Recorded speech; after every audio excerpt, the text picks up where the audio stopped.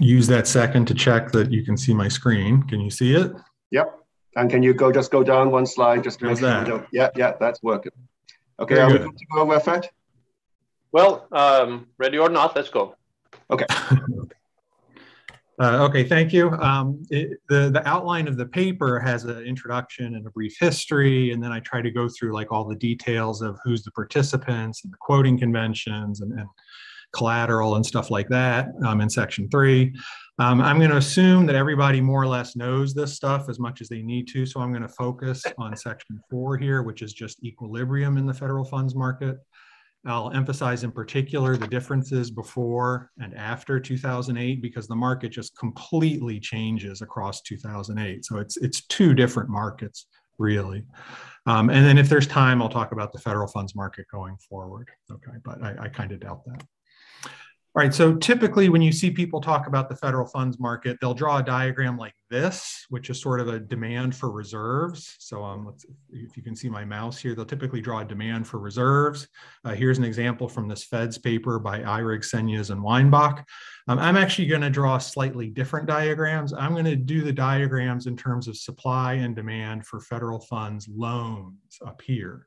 So I'm going to draw a, a demand curve for loans, which is downward sloping and a supply curve of loans, which is upward sloping. Okay, so that's actually going to help you illustrate, it's going to help illustrate a lot of the things I'm going to talk about a lot better than that other diagram does. So, so just bear with me on that. Okay, so here's the standard equilibrium in the federal funds market before 2008.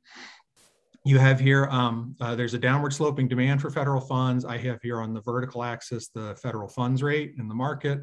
On the horizontal axis here, I have the quantity of federal funds lending. Okay, so this is not the quantity of reserves, it's the quantity of loans that are made in the market on a typical day before 2008. Okay, so on a typical day before 2008, higher Fed funds rate, less demand to borrow, um, and a higher Fed funds rate, there would be more supply of loans, more people interested in lending federal funds. Okay, so the interesting, you know, you, you have this downward sloping demand, this upward sloping supply. It's sort of truncated at the top because here is RD, which is the Fed's discount rate. Um, and abstracting from stigma for the moment, right, then presumably nobody would demand a loan at an interest rate above the discount rate because they would then just switch and borrow directly from the Fed. So the demand for loans actually sort of gets truncated up at the top here. Similarly, the supply of loans becomes essentially infinite um, because what would happen is if the federal funds rate tried to be higher than the discount rate, um, banks would go out, they'd borrow from the Fed, and then lend in the open market and collect the arbitrage profits on the difference. So you'd end up with an infinite demand, um, an infinite supply of federal funds loans and an infinite demand from the discount window to conduct that arbitrage. Okay. Now, obviously, stigma um, and uh, is going to prevent people from pursuing that perfectly. So you're going to end up with actually somewhere that's in between these two lines. So you get maybe a, a decreased demand.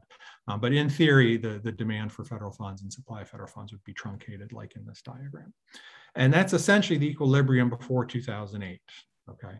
Um, there's essentially no floor except at zero. So now several things change in 2008, beginning in 2008. So first, the Fed began paying interest on reserves in October 2008.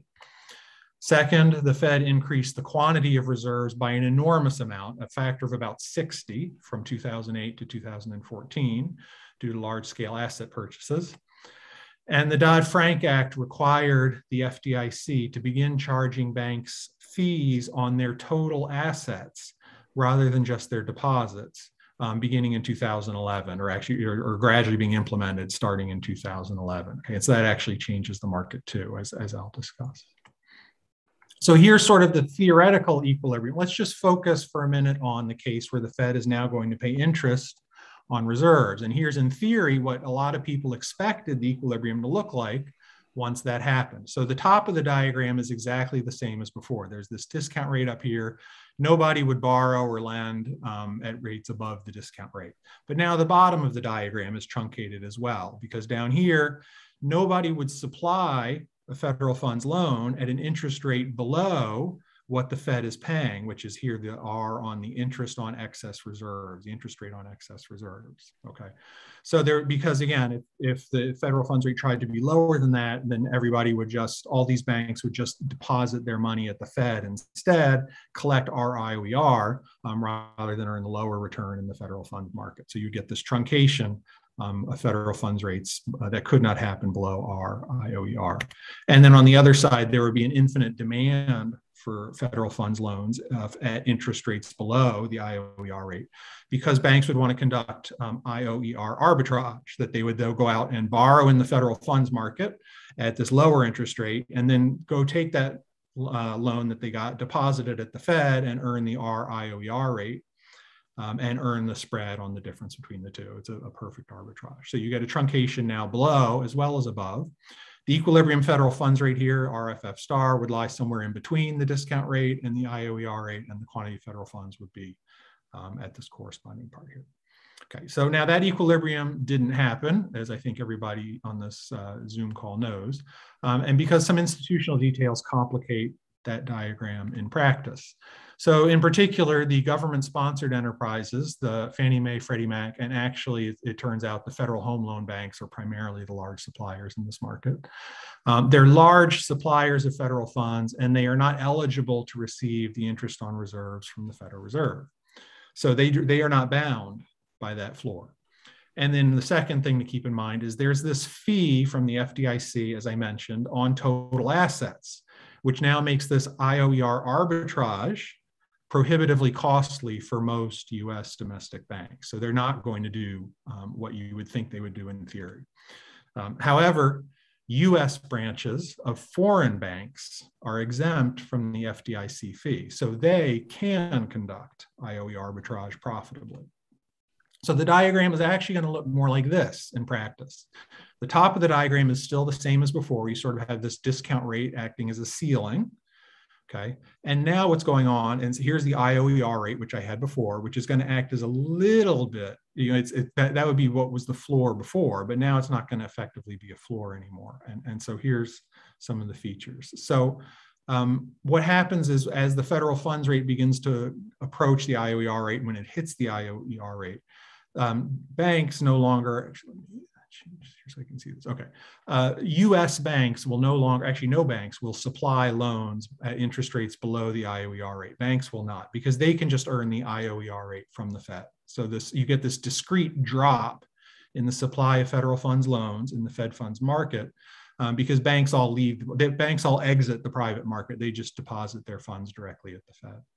But the GSEs will continue to supply loans at rates below the IOER rate. So you get this discrete drop in the quantity of lending, the quantity of supply in the market, but then it begins to fall gradually again because the GSEs will still supply loans, but as the Fed funds rate falls, they supply less and less. Okay. Um, then on the other side here, right, there's this, the IOER arbitrage does not, you do not get this flat line. There's no infinite demand for arbitrage if, if the funds rate falls below, below IOER. But you do have this increased demand, um, which is the US branches of the foreign banks conducting IOER arbitrage. But the demand is not infinite. You know, although they do not face regulatory constraints or costs from the FDIC, they do face some regulatory restrictions from their home uh, regulatory authorities. And so there is demand for these arbitrage profits, but it is not infinite. So you get this demand for federal funds loans that increases once the Fed funds rate falls below IOER um, but it, it is not infinite. And so you end up with an equilibrium that's more like here. The equilibrium federal funds rate is actually end, ends up somewhat below the IOER rate, and the quantity of federal funds is, is at this point here. Okay, so the market looks like that. The final technical um, thing to talk about in the market is this Fed's reverse repurchase facility.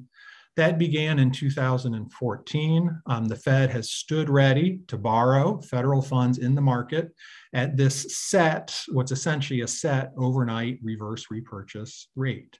Everyone is eligible, including the GSEs. In fact, this policy was specifically targeted to give the GSEs away to earn interest on their reserves. So the ONRRP rate effectively provides a floor for the equilibrium federal funds rate that was missing. If I go back to the diagram here, right? There's no floor on the federal funds rate. The floor is zero because the GSEs will potentially supply funds all the way down to zero. And if the arbitrage does not soak it all up, you can get the federal funds rate being arbitrarily close to zero. Okay, so now the ONRRP rate will provide a floor. And so you get a diagram that looks like this. So now here, here's the R, uh, the ONRRP rate down here. The top of the diagram is exactly the same as in the previous slide. So you get, again, there's this discrete drop off where banks will not supply loans once the Fed funds rate drops below IOER. And now GSEs, no one, including the GSEs, will supply loans once the Fed funds rate were, tries to drop below the ONRRP rate. So now you get this discrete drop off to zero because literally no one is willing to lend at an interest rate below the RRP rate because they can just get that by lending directly to the Fed instead. Um, over here, you have uh, US branches of foreign banks conducting IOER arbitrage just as before. And in fact, if the federal funds rate were to try to fall below the ONRRP rate, then even the GSEs could conduct arbitrage. They would conduct ONRRP arbitrage by borrowing in the market and lending to the Fed at the ONRRP rate. Okay, so you get an equilibrium diagram that looks like this. Now, because of this flat line here, no matter how the supply of Fed funds loans shift outward, left or right, no matter how the demand shifts inward or outward, left or right, the equilibrium Fed funds rate is bounded um, below by ONRRP.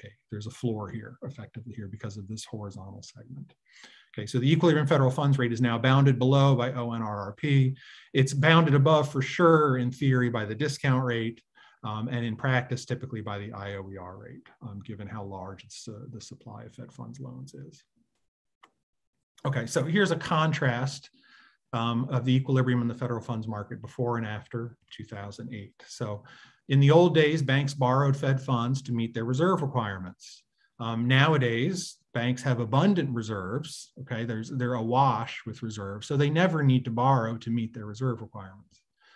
Um, banks and GSEs with excess reserves would lend Fed funds to earn interest on those reserves. Nowadays, essentially all federal funds loans are provided by the GSEs. Essentially, no banks provide Fed funds loans in the market anymore. Um, and then banks in need of reserves used to borrow those reserves to meet their reserve requirements. Nowadays, essentially all Fed funds borrowing is entirely by US branches of foreign banks who are conducting IOER arbitrage. So the market is very, very different. The, the, the borrowers are different, the lenders are different, the purpose of the federal funds market is now completely different. It's no longer to meet reserve requirements. The purpose of the market is only to conduct arbitrage. That, that's the only trading that's going on now. Um, so uh, the Fed used to hit its Fed funds rate target by varying the quantity of total reserves, increasing or decreasing the quantity of reserves to shift supply and demand for loans outward and inward and hit the, the target federal funds rate.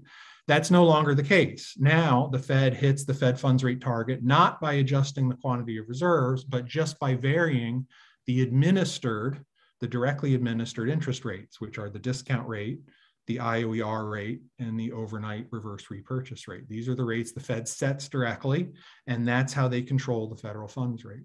Okay. And so large in the old days, large financial institutions would cause other short-term interest rates to track the Fed funds rate by arbitrage. Today, that's mostly the same. Large financial institutions cause other short term interest rates to track the IOER and ONRRP rates by arbitrage. Okay. And again, that arbitrage is not perfect because of these FDIC fees, but it, nevertheless, the forces are there that if, if these other short term money market rates tried to deviate, um, there, there still is this force that's going to keep them from deviating too far from the IOER and ONRRP rates.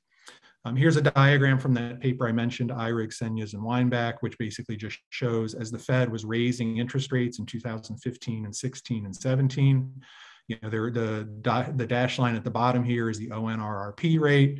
The dotted line at the top of the range is the interest on reserves rate and other money market rates, the SOFR, for instance, which is the measure of repo rates. Um, that's basically tracking along um, with the Fed's target. And that's that's entirely coming through arbitrage. The Fed does not target SOFR directly. That's just following by arbitrage from large financial institutions. And then when they were cutting rates, the same thing happens. So you see the pass through right there. Okay, how much time do I have? Uh, maybe a minute. Two minutes. Two minutes. Yeah.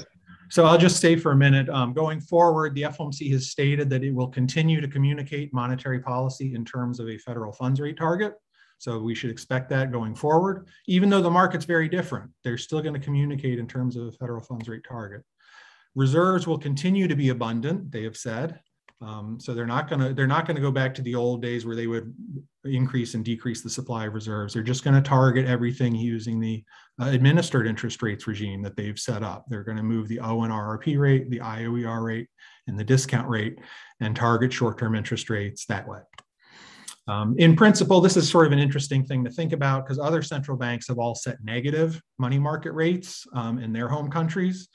Uh, the Fed has not done that, but they could um, by setting the ONRRP rate negative and setting the IOER rate negative. And you also have to charge GSEs a fee for holding Fed funds. You can't, you can't, um, uh, you know, if you're going to charge banks a fee, if you're going to make the IOER rate negative, you have to charge the GSEs a fee also. Um, but if you set all of these things negative, then you can end up with a negative equilibrium federal funds rate too. Um, large financial institutions would then drive other short-term interest rates negative by arbitrage, just like in those diagrams I showed you on the last slide. Okay, so the Fed could achieve a negative interest rate um, relatively easily.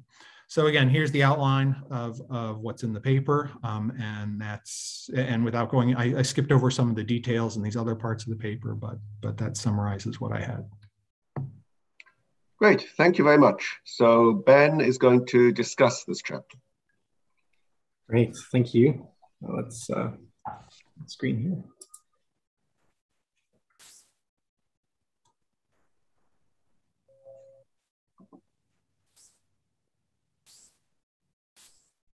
Okay, is my screen visible? Cycle through. Yep. Yes. Perfect. Okay. Well, thank you uh, for letting me discuss this paper. I really enjoyed it, or this uh, this chapter on the Fed funds market. I'll try to also adhere to um, time. So um, a lot of things that this paper or this chapter made me think about. Uh, I think a lot of the paper focuses, or the chapter focuses on how the uh, Fed funds rate is determined pre and post 2008. I thought that was very helpful. I have a couple suggestions of kind of how I think um, uh, it could be easier to absorb as a, as a book chapter, but generally just also some kind of context uh, questions or things that I enjoyed kind of uh, uh, uh, thinking about it. So one thing I noticed is um, the paper talks a lot about the uneven participation and the multiple rates that interact with the Fed funds market. So we have um, U.S. depository institutions who acted as previously as a borrower and a lender, and they were the original kind of users of the market, a reason the market existed, uh, but they've uh, really seem to have left the market, okay, because the Fed increased uh, Fed funds uh, or the supply by 60 times. There's just not really a lot for them to do. Additionally, they have a lot of reserves on their own. So um, the remainder in the market is now really the GSEs as a lender, um, and then the US branches of foreign banks as a borrower and a lender. And uh, as Eric said in his uh, discussion of the chapter, it seems like a lot of the activity now is uh, due to arbitrage between the foreign banks and the GSEs. So, um, or taking advantage of the GSEs, you could say. Uh, the Fed is operating as a borrower and a lender, uh, really just to enforce their corridor interest rate policy. And um, I thought uh, you know, it kind of seems like you could say that they're setting a price or they're setting really just a very sizable $8.5 trillion bid and ask at the discount rate and the ONRRP rate. You could think of as their total amount of securities holdings is the maximum they could pledge in this reverse repo facility. So these are our four players. One of them has kind of left the market. And then we have four rates. So we have the federal funds rate, which is the federal funds or the Fed's target rate. And then we have the kind of old floor, which is IOER, the interest on excess reserves. We have a, the ceiling, the discount rate. And then we have the new floor, which is this reverse repo or ONRRP. So one thing I thought would just be helpful or might condense some of the discussion is, is even just, this lends itself very well to a table form presentation. So a simple table of who are the participants, what are their roles, um, what do they do uh, then and now, and then what are the rates in the market um, might might help just it helped for me because I just wrote it down to make sure I understood everything exactly how you presented it. And then a lot of the paper dwells on what happened since 2008, um, uh, talking about uh, the large scale asset purchases, purchases the FDIC's asset charge, and then the ONRRP program. Um, I, as a, just as, as a comment, I thought it'd be helpful to mention also this um, what you mentioned in your talk, this kind of post September 2019 ample reserves regime that the Fed has kind of committed to that Um, not only are they going to do these large scale asset purchases, but they're going to target abundant reserves at all banks. Uh, and so, uh, kind of a commitment that going forward, banks will not need to return to this market. And so, um, uh, the um, uh, IOER and then ONRP becoming a broader floor for money market rates, um, really changing the structure of the market. I thought that might be a relevant inclusion uh, as well. This post post the repo market shock in September 2019, this change in, in policy. Uh, my comments main comment is really about uh, the kind of the, the thesis of the pay, of the chapter or the feeling I got from it, which is really how relevant is the Fed funds market today, and how much how do we think about how the Fed funds market matters uh, for the real economy? And then I have some minor additional comments. Um, so uh, I'll skip the the technical comments for for later in the interest of time. So. Um, how relevant in terms of are there related markets that we should think about? Um, uh, I know uh, there are a lot of international markets for many of the other types of chapters, but the Fed market is the Fed funds market is U.S. specific. But are there kind of international counterparts like the overnight euro dollar market that I should think of if I'm trying to study as a researcher what is affecting the dynamics of, of Fed funds? So you mentioned that you know a big player is uh, foreign U.S. foreign banks with U.S. Um, uh, branches, and is something could something from the euro dollar market or some other short term funding market kind of uh, ricochet into the Fed funds market dynamics. Uh, and additionally, other Fed funds products, so for example, futures and options. Uh, are these a different class of market participants that I should add to my table of you know the the uneven participants I mentioned earlier, or with different kind of trading incentives that affects their dynamics? And uh, is there any interaction to the two, or can I kind of just ignore uh, these these other derivative products? Um, and then uh, additionally onto that, SOFR, which you mentioned in your talk today, is replacing LIBOR and the Fed funds markets is shrinking. So um, in your futures, I'd like to hear you thinking about future policy from the Fed. Do you think it's viable for SOFR to be a replacement for the Fed funds target rate altogether? Or is it, uh, um, why, why not? Um, uh, and then uh, in terms of systemic risk of uh, the, the Fed funds. Uh, clearly, the Fed funds market was changed dramatically by post 2008 interventions. Um, and I feel like from your reading your chapter that you feel like it was kind of destroyed and reduced to just an arbitrage mechanism. So, uh, was the Fed funds market, or researchers explored whether Fed funds was kind of an innocent bystander in 2008 that kind of got obliterated by other forces, or is there some weakness in Fed funds itself, like in repo, that caused some systemic financial instability? Uh, or in, in, general, can anything ever go wrong in this market? Can there be runs on individual borrowers or things that uh, might promote additional regulation or have promoted the Fed to really displace this market? Um, uh, I just had a couple minor questions about uh, maybe uh, the um, viability of the, the uh, Fed funds market going forward. First of all, you mentioned in the paper the the convenience and efficiency of conducting interbank transactions via Fed funds uh, are so large that there will always be a market for Fed funds, even at very negative interest rates. I thought it'd be very helpful here uh, to talk about what transactions still occur besides arbitrage at deeply negative rates. I had a hard time thinking of um, anything besides just simple uh, settlement needs that that uh, would cause a bank to transact in this market. And so you know, we're expecting something like, you know, five transactions a day going forward in the Fed funds market outside of arbitrage purposes, or is there kind of still going to be some sizable fraction of the market that is serving legitimately banking purposes? Uh, and then um, I thought it'd be helpful, given all the attention here in your chapter about post 2008 activity, uh, on a commentary about the value of uh, foreign bank activity in this market. Is this has this evolved simply to what you might even call a parasitic market, where um, foreign banks are arbitraging off of trapped uh, government agencies. In other words, you know, could we quantify how much U.S. taxpayers have delivered to foreign banks via GSEs who are trapped and the Fed who is offering this arbitrage opportunity? Uh, and does this structure contribute to the Fed's mission? Should we still have a Fed funds market um, and this arbitrage, or is this simply giving away millions of dollars to foreign banks every year. I don't know, but the tone of the paper reads like um, that the the future of the Fed funds market is is currently parasitic and maybe should be stopped. And I think uh, it lends itself well to maybe a bit of short discussion on on this this point explicitly rather than implicitly. Um, I think I'm trying to stay under time here. So Uh, there's a bit more technical comments I can make, but I think a lot of very helpful market details, uh, very well structured. I like the equilibrium analysis pre and post 2008.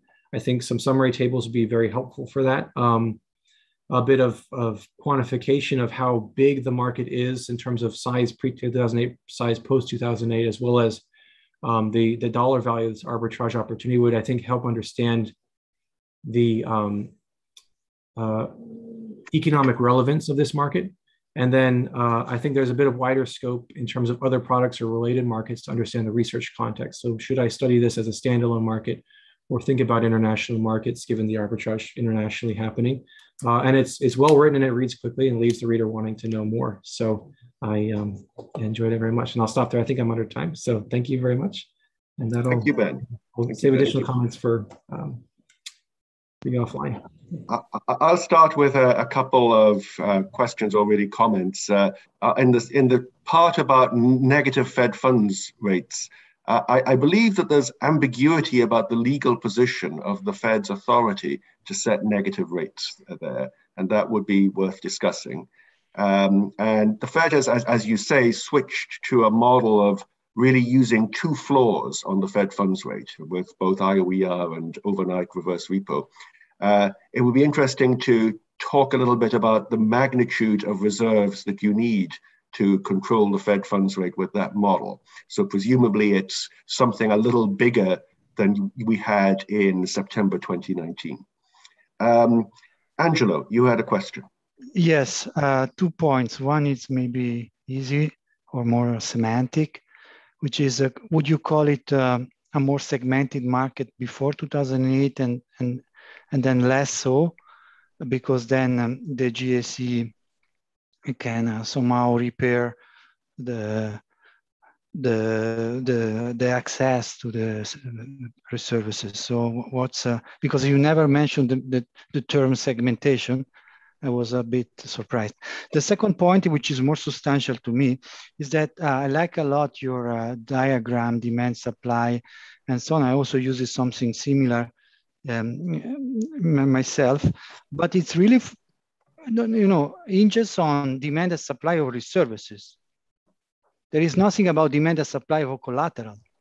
So maybe I'm, I'm not so familiar with the US, but in the Europe, that the collateral is, is, is driving, the, driving the whole story. The collateral is the king. Um, and since we have heterogeneity in collateral assets, several sovereign bonds, uh, with different default risk and so on. This also create dispersion in the repo rates, in the money market rates and so on.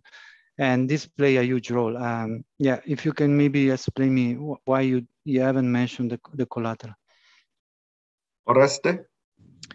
Uh, thank you. Uh, no, just two quick uh, comments, questions. Uh, Eric, maybe you already go uh, uh, uh discuss this uh, more in the in the chapter but uh, i think uh, you know what, what, one question is why two floors? Uh, so or, or if you wish what are the considerations that determines uh, you know the spread between the two you know the, the interest on reserves and this uh, onrp rate even you know maybe you know, both from a practical perspective at the fed and and you know is, is there a theory that we can we can appeal to for for determining them? And the other one is there any evidence about um, you know what determines the what the short end of the of the term structure is it more going towards the the interest on reserves or does it fall uh, towards the ONRP rate? Rafat? You're muted. Yes. Uh, so interest on reserves is an administrative rate that the Fed obviously chooses. And it's an interesting thought to think a little bit about the distributional consequences right? Because uh, in the end, it's a transfer to the financial sector from everybody else. And, um, you know, one choice might have been if you didn't want to penalize the banks for holding so much reserves, to say interest on reserves is whatever the Fed funds rate is.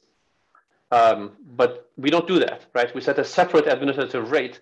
It helps in monetary policy administration some, uh, but at a cost. And I think that's worth pointing out. Andreas? Yes, thanks. Um, yeah, just wanted to quickly point out, um, you know, also the um, um, you know, the the use of reserves basically um, from a regulatory point of view. So, I mean, for the purposes of LCR, etc., um, you know, that could change the shape of these demand curves as well for reserve balances. And maybe that's also something to consider for thinking about the post uh, GFC environment because of all the liquidity regulation, etc. So, so I would encourage uh, Eric maybe to to discuss that a bit more in the paper.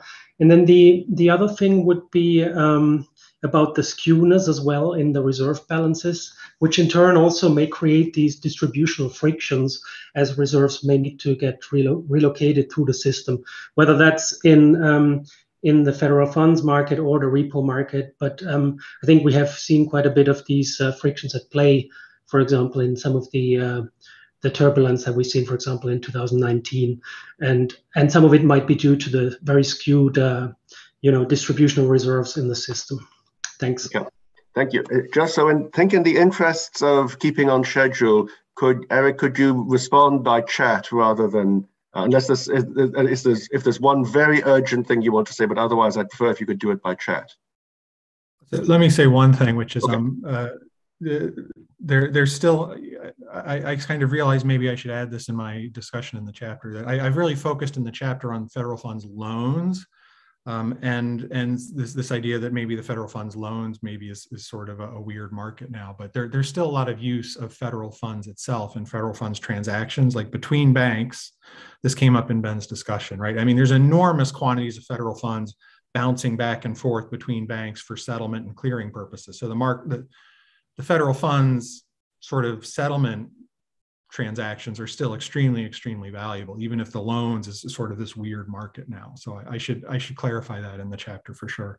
I'll respond to the others by chat. Thanks. Thank you. Thank you. Okay we move on now to ben who's talking about the repo market.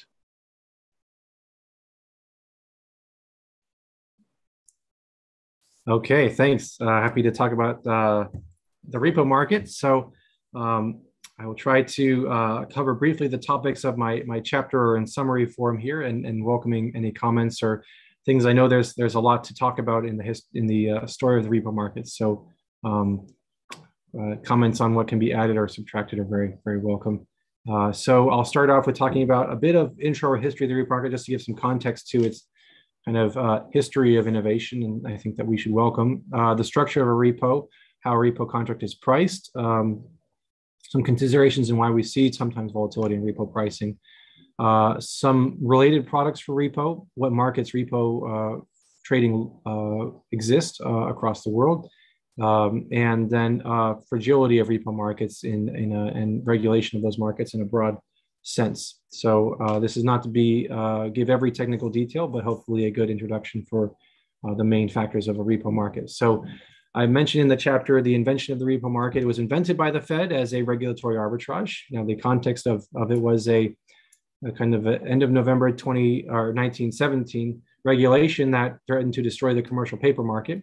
And uh, bankers were rushing to liquidate all of their bankers' acceptance notes. And the Fed found a loophole uh, because of their constraint that, unlike European central banks, they couldn't buy commercial paper from other banks without a discount.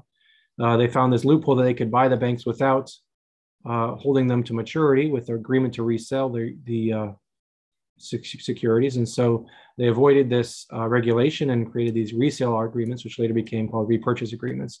Uh, so we shouldn't be surprised they're born out of innovation and they, the Fed continues to innovate there. Um, the uh, repo serves traditionally a purpose of facilitating securities trading. And a lot of times firms that get into issues are blowing up their repo books or repo runs, as we call them when we talk about systemic risk, is because they're using them not for short-term trading, but for long-term financing. But really, uh, repo's traditional purpose is for trading securities. And uh, innovation and reform typically follows a blowup in some type of a repo borrower's event. Um, so what is the structure of a repo? It's, it's, it's got some few, a few key features and then a lot of variations on it. There's a cash borrower and a cash lender. And then there is collateral that is exchanged for this cash. And sometimes the collateral is the key and in some markets, like in Europe, collateral is the key, and sometimes cash is financing is the is the key uh, to that transaction or the driver motivating the transaction. Every repo contract has a start and an end date. Usually, it starts the same day as it's negotiated. Uh, there's some rate that's due at uh, maturity and it can be negative. There's some collateral that's pledged uh, as security against default, or maybe as the, the target you're trying to acquire is collateral rather than cash. Uh, and then there's some haircut, which is a protection against default by the cash lender. Uh, on a longer maturity repo, this is very similar to initial and variation margin you'd see in other products. Uh, importantly, the economic benefits of changes in collateral value accrue to the cash borrower. So if you pledge the security and it pays a dividend or pays coupons, that um, accrues to the, the economic value accrues to the cash borrower who provided the security. Okay. An example repo transaction, very simply, is a dealer wants to finance their trading inventory. They have um, 10 million notional of five-year U.S. Treasuries to repo out and the GC or the one repo market uh, investor offers a 1.57% repo rate with zero haircuts. So this just offers some conventions in the market. The dealer will pledge using the dirty price or the market value today, including coupons, which might be uh, above or below that notional amount of 10 million. So in this case, 9.9 million. The cash lender is going to trans, uh, transfer the haircutted amount of that market price or dirty value of the bond um, and then at maturity, then the dealer or the dealer who borrows cash will buy back their treasuries uh, for uh, principal plus interest, and that interest is accrued on a on a day count as it is as is common in uh, money markets. So one day divided by 360 days in a trading year times the interest rate. And so the total interest in this case for a cash lender would be uh, the difference or $434 of interest. Okay. Uh, the way that we talk about repo in the market typically is uh, repo and reverse repo are just two sides of the same transaction. So repo would be what we call the cash in leg, where you are pledging a security and receiving a cash. Your counterparty would call that uh, where they're receiving a security and, and leaving uh, cash is leaving their institution. Institution for them, that would be a reverse repo transaction. And only uh, a few institutions like the Fed use the opposite nomenclature versus the rest of the market. So the Fed is really doing what we would call a repo well, they are calling a reverse repo, but this is the normal terminology. Um, with the collateral markets, repo markets vary in how uh, what you can do with that collateral while it's pledged to you. And rehypothecation is allowing uh, the cash lender to take that collateral and reuse it to either, um, for example, sell it uh, if they want to short a security, or they can repledge it in their own repo transaction. And Manmohan Singh has this nice paper showing collateral chains or the same collateral is pledged in a repo contract and then the cash lender goes and repledges that same collateral to receive cash themselves and that can happen multiple times okay? Um, uh, and lastly uh, there's a difference between default versus fail to deliver when you're unwinding a repo contract. So if a party that's borrowing cash doesn't return the cash that is considered a default like bankruptcy like event and the cash lender keeps the securities. But if the party that lent the cash that has the securities now chooses to, they can wait to receive the cash and pay a fee for this. Uh, but this would not be a default. And this is simply called a fail or a fail to deliver. And this can happen whenever the collateral is very useful to hold for trading purposes, i.e., it's what we would call special. Okay. Uh, specialness relates also to the pricing of a repo contract. We can think about pricing in standard repo uh, coming from simply a relationship between a bond's uh, spot and future price. Uh, but some securities have additional value for trading purposes because when you settle a trade, you have to provide that particular CUSIP. Or when you're trading an interest rate swap, then it's referencing only the on the run CUSIP. And so you want to have that particular security to be properly hedged. Um, uh, so um, traders will, uh, for securities that have particular interest in trading at the moment, uh, then uh, locating those securities in the repo market can oops, uh, command a premium. And uh, dealers will often offer uh, cash to uh, locate the security in the repo market at a very low repo rate, sometimes even a negative rate. Okay, and um, and this this oftentimes security specialness is very similar to in securities lending, where you have a premium or for a sec lending fee to borrow a, for example, Tesla stock if you want to short it. It's a very similar mechanism uh, that can cause repo rates to differ across different collateral types because one collateral is more special than the other. Uh, segmented, uh, the repo market is can be very segmented. Uh, in the US, we have a segmented market in terms of cash lenders versus cash borrowers. Uh, outside of, Europe, of the US, we have uh, geographies that are very segmented within, within Europe, for example. Uh, in the US, we have cash lenders that form relationships with cash borrowers. That leads to preferential pricing, where uh, relationship borrowers get uh, better pricing, and we see rate dispersion across different different repo markets for that, uh, due to that purpose. Uh, and then lastly, uh, repo pricing is becoming more broadly applicable for the market due to, as Eric mentioned, SOFR, the secured overnight funding rate, which uses aggregate repo rates on the non-special collateral, and it's used to replace, it's being used in the US to replace LIBOR by 2023 as the US floating interest rate benchmark. And so that will affect broader market pricing on even things like, you know, adjustable rate mortgages or floating rate debt. Okay, there are a lot of close substitutes for repo um, uh, or variations on, on a theme. Uh, these include sell buybacks. This is used uh, in markets where there isn't a developed repo market. For example, Spain uh, uses these commonly. Italy used to use these uh, in prior years, uh, where the interest is simply embedded in the repo market price at maturity, uh, not legally separate from it. This simply facilitates new market growth. there's a tri-party variation, which is common in the popular in the U.S., where you have a clearing bank who provides some services like sometimes netting, but also custody, valuation, and settlement that helps uh, cash lenders access the market. So it provides um, more cash lending in the market and cheap funding for sophisticated dealers who form relationships with them. There are also other repo products like dollar loan rolls or whole loan repo that are used in specific areas like mortgage-backed securities or financing credit card loans. And these have their own um, variations on the repo product in terms of what collateral is acceptable uh, as a as a um, uh, to finance the, the repo. And then lastly, repo to maturity is, is popular in securities financing where you want a repo, uh, the maturity of the repo transaction is matched with the maturity of the collateral. So you can finance something like an illiquid um, sovereign bond uh, this way, as MF Global did with their Italian bonds. In terms of markets for trading repo, uh, in the US, there are three main categories of markets. There's the tri-party market, which is we said was a cash uh, lender uh, market, and then there's the GCF repo market, which is an interdealer market, uh, and then there's bilateral repo. And I would classify categories these as cash lenders who provide cash to the GCF repo market and bilateral, where dealers are managing their bond trading inventory, and in the bilateral market, then we have uh, uh, dealers who are trying to locate specific securities for trading purposes, or they're funding their dealer clients' positions. Uh, the Fed Reserve, uh, Fed's reverse repo program is included in tri-party repo, and we've seen uh, a massive rise in that program uh, by about one and a half trillion dollars as the Fed has raised interest rates on ONRRP. Okay, and we can see when we talk about systemic risk that there are runs sometimes in, in the repo markets. Um, in Europe, though, uh, we have, first of all, unlike the US, great uh, detailed public daily data by the MMSR data set. Um, and um, uh, a lot of localized markets. So it's a much more segmented market. As uh, Schaffner, Ranaldo, Tsatsaronis mentioned in a 2019 paper, uh, there's a scarcity of European uh, bond collateral, which has really contributed to fragmenting this market as dealers are sticking to kind of a home bias trading their home country bonds. But um, unlike the US, repo there is uh, centrally cleared mostly.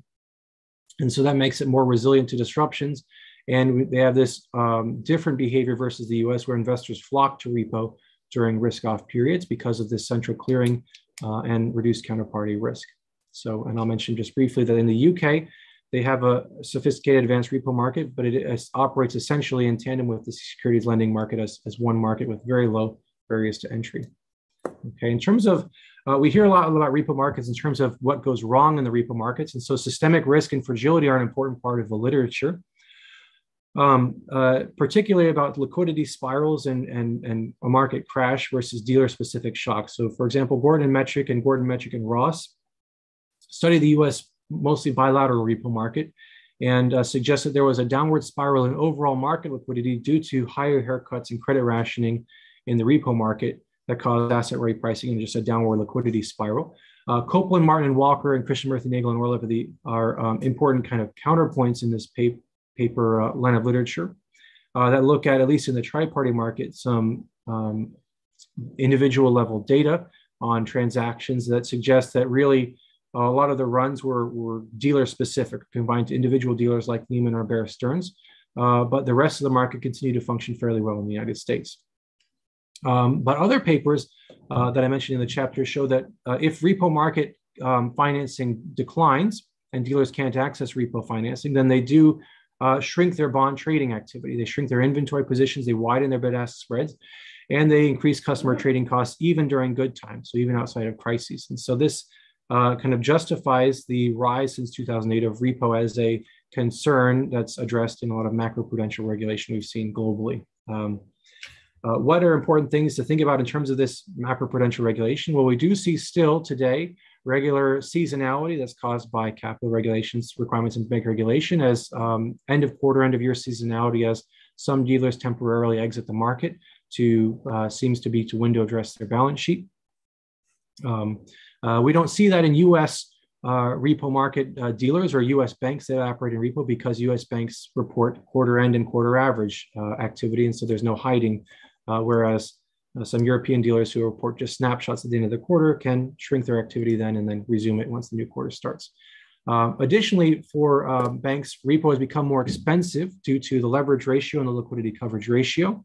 And there uh, is a new strand of literature that shows that this has an un unintended effect of worsening bond market liquidity because of this reduction in repo accessibility for bank dealers. Uh, and lastly, the Fed's reverse repo uh, ONRP is a, is a recent innovation since 2014. It's been meant to absorb cash and, as Eric mentioned, strengthen the floor under interest rates.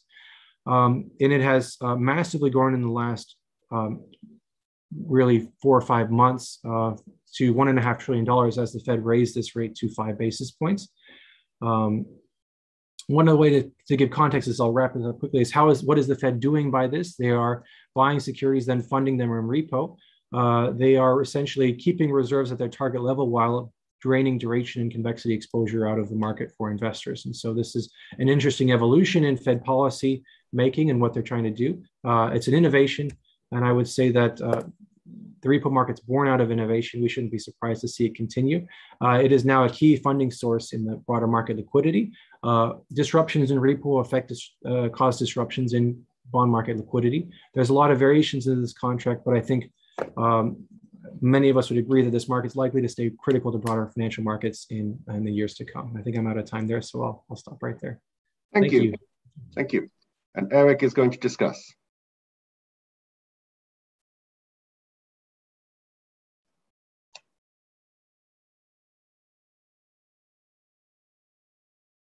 You're muted, Eric.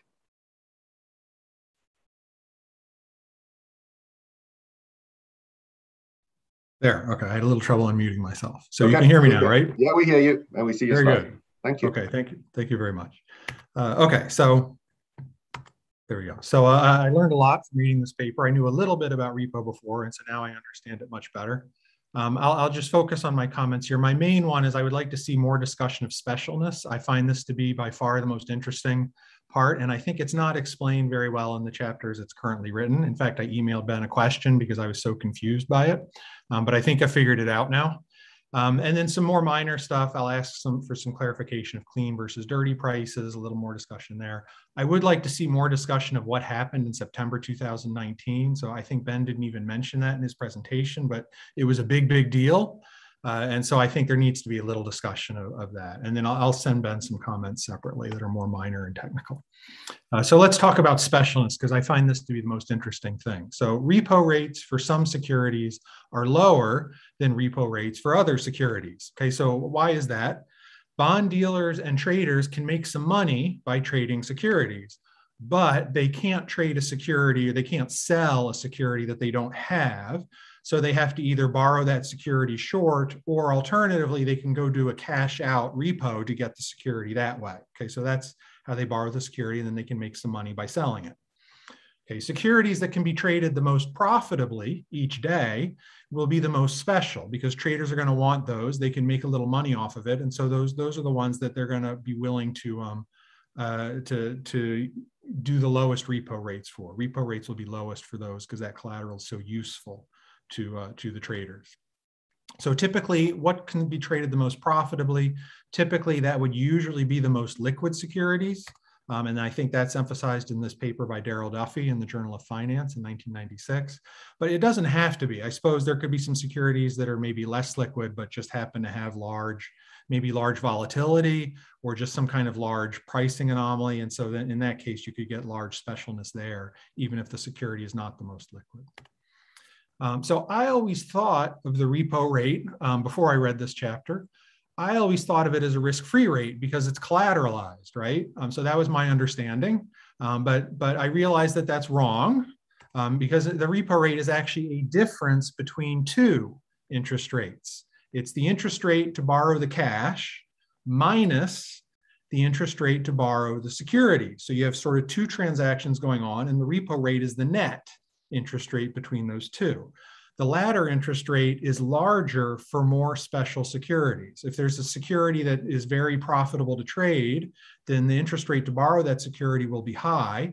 And so the repo rate will be lower for that security. So it's a more special uh, repo transaction. The repo rate is only a risk-free rate if we think that latter interest rate is literally zero. And so I, I, have a question, to what extent do we think that's true? If it's a very far off the run treasury, is it really, you know, maybe it's true that there's no trading opportunity. So is, it really a zero interest rate on that? I, am not sure, but maybe. Um, in general, though, the repo rate will lie below the true risk-free rate. And, and as Ben mentioned, it could even be negative because if the interest if the security is very profitable to trade this interest rate could be bigger than the cash interest rate so you could end up with a negative repo rate for a very special security okay um, there's two equations in the chapter two or three but two relating um, to specialness so here's one of them um, P is the spot price of a given bond. F is the current future price of the bond delivered in T days. And so there's sort of this current um, future parity where R is the implied gross overnight repo rate and then bought in the denominator here R is not really specified. I think that it's the risk-free gross overnight interest rate. So risk-free here would be sort of the shadow risk-free gross overnight interest rate. Um, there really ought to be parentheses here if that's the case. So, um, so there's, but, but I, I believe that's what this formula is trying to get at. There's a second formula here which claims that there's some arbitrage opportunities that, you know, if if P is the spot price of a general collateral bond and P prime is the spot price of a special bond, and then little r is the special repo rate and big R is the general collateral repo rate, then there's this argument in the paper that there's an arbitrage opportunity here that, that this sort of, you know, the, the difference between P prime and P tells you the difference between R and R. But there's no, the arbitrage argument here is not clear um, so I mean, it, there, there's no, you know, where's the price next period? It's it's not there. It's missing. So it must be this. This must be a, an arbitrage to maturity. So this must be a repo to maturity arbitrage idea. And, and even then, P and P prime would have to be reversed because I have if if P is the general is the spe if P if P prime is the special bond, I want to take the special bond today, then I repo out at one plus R, and then you know at, until maturity. Whereas uh, P general collateral, I repo it out at one plus R to maturity. Those should be equal if I repo them both out to maturity. I'll also point out that in the top panel here, the R's are gross interest rates. In the bottom panel here, they're net interest rates. There's one pluses here. So now you have the sort of this disagreement between the, the notation, which probably ought to be cleaned up. So there's some minor stuff there. Okay, um, my second comment was clean versus dirty price. This is more minor. Um, the clean price of a bond is the price of the bond just with no adjustments for anything. It's just the price of the bond in the market. The dirty price takes that price and then includes an adjustment for accrued interest. Um, how is that adjustment done exactly? Maybe give a little bit of an example, like how do you adjust for the accrued interest? Um, the clean versus dirty price. I showed you some formulas on the last slide, but whether the price is clean or dirty affects those formulas. So, I mean, we need to specify in those formulas, are those the clean prices? Are they the dirty prices? Um, in the market, what's the standard quoting convention? Let's just be a little clearer about that. Um, so that's that's all. My my next my third comment, I think my final comment is what happened in September 2019. Here it is. There's this spike of 500, essentially, five, I guess it's three or 400 basis points above what it should have been. So it's a three or 400 basis point spike that did not get arbitraged away in mid-September 2019. Um, there's the uh, paper, uh, a couple papers maybe by some guys at the Fed and the New York Fed who give an explanation. The explanation seems to be based on inertia in the repo market and sort of short run, inelastic supply and demand both in the repo market. So you end up with these spikes because the demand is just inelastic and the supply is inelastic. It's, it's still surprising what does this say? What does this inelastic supply and demand mean? What does it say about arbitrage in the money markets in general and the repo market in particular? You know, normally we think arbitrage should be keeping everything, you know, sort of in line. What does this say about supply and demand in the repo market? I mean, it just seems like there's some big issues here that um, that should definitely be touched on, and and the papers kind of you know doesn't really talk about those at all. So so just to summarize my comments, I think a lot more discussion of specialness would be nice. Um, clean versus dirty prices, we should probably have a little on that. What happened in September 2019, and then I have some more minor stuff that I'll email to Ben separately. Thank you. Uh, Angelo, you have a question. Yes, uh, I would like to raise two points. The first one is more an European um, evidence that we have uh, we have seen repo rates, but any, including general collateral repo rates and specials, that have been traded below the deposit facility rate at the ECB since several years now. and I think that should be mentioned in a in in a, in a chapter on repos. Uh, from Eric's point of view, there would be an arbitrage violation, but actually um, maybe can be rationalized with um, uh, heterogeneous demand, rigid demand for for collateral. uh, and they are different, right? For instance, for a German, for a German government bond, you have a preferred habitat for some reason because it provides more convenience, more liquidity services, and then you want to pay for that. That's one the first point. The second is a, an important regula regulatory issue in Europe that we have. It's massive, not has been documented yet.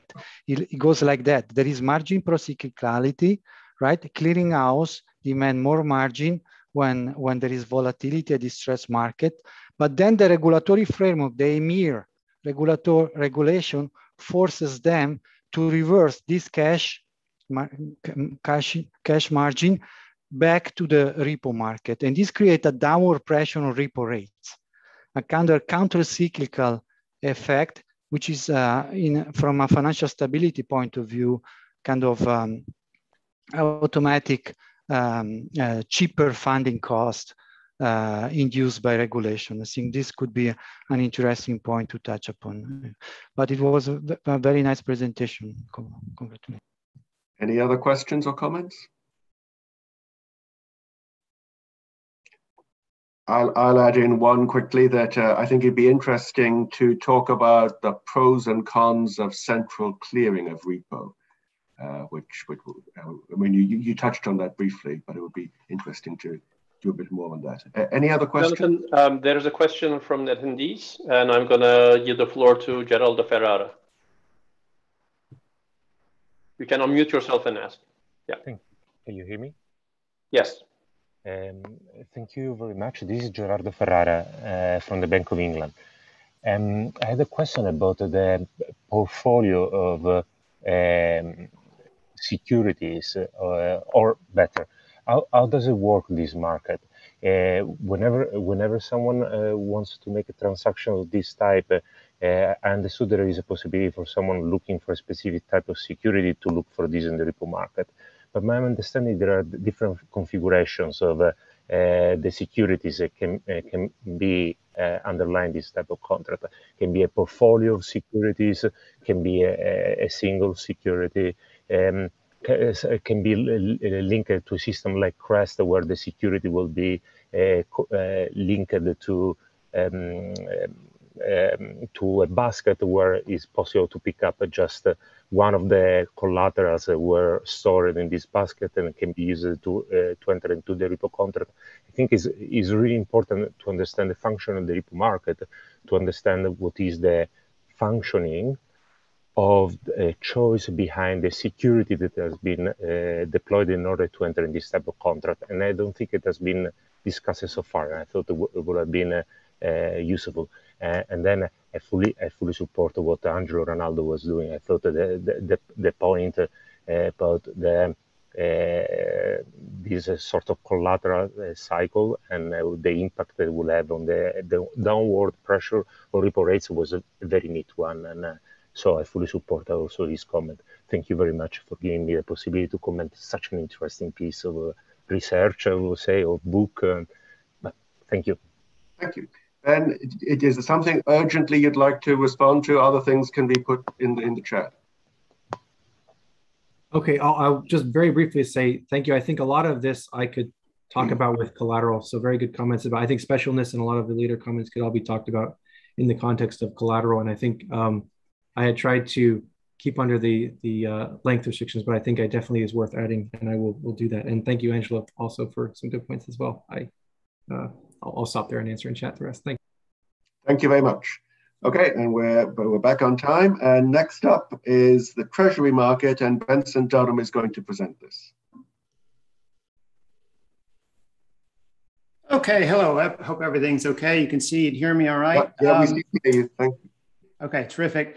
Um, yeah, look, I mean, I guess uh, I could burn much of my 15 minutes uh, thanking both Jonathan and Refet, as everyone duly has, for uh, assembling everybody um, and also uh, inviting us uh, to participate. So uh, thank you very much. And also, it's great to see so many former colleagues, and um, it's a pain, it's unfortunate that we can't see each other. So let me just, I don't want to spend a lot of time, but thank you and hello. Um, also have a bit more um, housekeeping, you know, like if someone asks you to write or us a chapter on the uh, treasury market, you know, kind of at first blush, that's, you know, seems very easy, right? I know about the treasury market. I think about it all the time. Uh, but lots of other people do too. Uh, so that in fact makes it really hard. Uh, it also is uh, challenging when, you know, you're two editors as well as a lot of contributors to the same volume are the very people that did so much to um, you know, help teach you about the market. So um, I guess besides uh, overcoming some imposter syndrome, uh, we both Roberto and I kind of approach this with a, a lot of humility. Okay, so um, this is going to be a, a, a, tough, tough going. A, a couple other caveats, too, more seriously. Um, both Roberto and I are, you know, kind of market participants. There are a couple others, I think, among the contributors. So I think both in the text and as you'll see in my comments, they will kind of veer more uh, probably toward an investor's uh, perspective to some extent. And I'll also say this more about my comments that I will say here and what I put together, and less about the text. They will also veer more towards asset pricing and what we kind of can glean from the treasury market as opposed to some of the very interesting uh, market microstructure issues. Although I'll kind of come back to that, um, um, you know, kind of a, a little bit. Um, and I will go through, uh, you'll see, a, um, I'll take a couple tangents here um, and not necessarily uh, focus exactly what's in the chapter, but, you know, kind of for the sake of, of, uh, of discussion, um, go, you know, kind of a little bit off, uh, take some of these topics and run with them for a little bit for the sake of uh, uh, my 15 minutes. But as a hedge against that, I want to be dead certain that I show you exactly what is in the chapter. and so that's why I have this very clear uh, um, outline of what we literally have, you know, kind of section by section. So um, we start out with, you know, a, a summary description of the tre treasury market in very basic, uh, basic sense, talk about marketable, non-marketable securities, types of marketable securities, uh, determinants of treasury issuance patterns. And, you know, even there we have a lot to, uh, lot to cover, uh, primary versus secondary markets. Um, and also measures of market liquidity that we go through. And I'll actually spend a little bit of time um, today arguing that you know we need to pay special attention to these, even with some of the models that we uh, write down and traffic in all the time.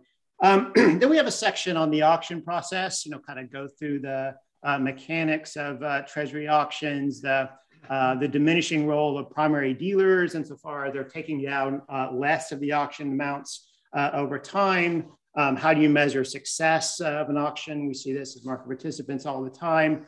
And then spend a little bit of time on the so-called uh, when issue market. Uh, we have some empirical results that I would characterize as, you know, kind of preliminary and exploratory rather than uh, definitive um, on premiums in the technically the on the run and the wish you, when issue uh, uh, markets that I'll, I'll, actually cover a little bit today. Um, and we go through some sensitivity analysis of that um, in our paper. Uh, and then we close with, um, couldn't resist doing this, but it's, it's hard to do because the literature is so vast. Just a little bit, give our readers a little bit on uh, secondary market pricing and uh, interpretation of the yield curve. Okay, so those are the topics that we um, very difficult to organize and very challenging, but this is uh, you know kind of what we have uh, so far, and it's fair game. as far as my the rest of my remarks, and um, again for the sake of the discussion of uh, and get your you know, kind of pique people's interest uh, in the uh, in the chapter, let me start with a little bit of you know some observations about interpretation of the yield curve, and um, you know this is very rudimentary, and um, but we do we do cover this in the uh, in the text. So the yield curve, of course, is the schedule of uh, yields by uh, maturity for different instruments. Um, and sometimes the yield curve uh, slopes down. I have the steepest inversion in my sample going back to 1987 on a daily basis uh, through uh, uh Friday. Uh, sometimes the yield curve uh, slopes up. I have the steepest slope between three months and 10 years here in blue. And then I've denoted the sample average term structure. So this here at the left is the average three month rate on a daily basis uh, going back to 1987. And then I have the uh, average 10 year yield as well. Okay. And you can see that the yield curve is on average uh, upward sloping. We all know this.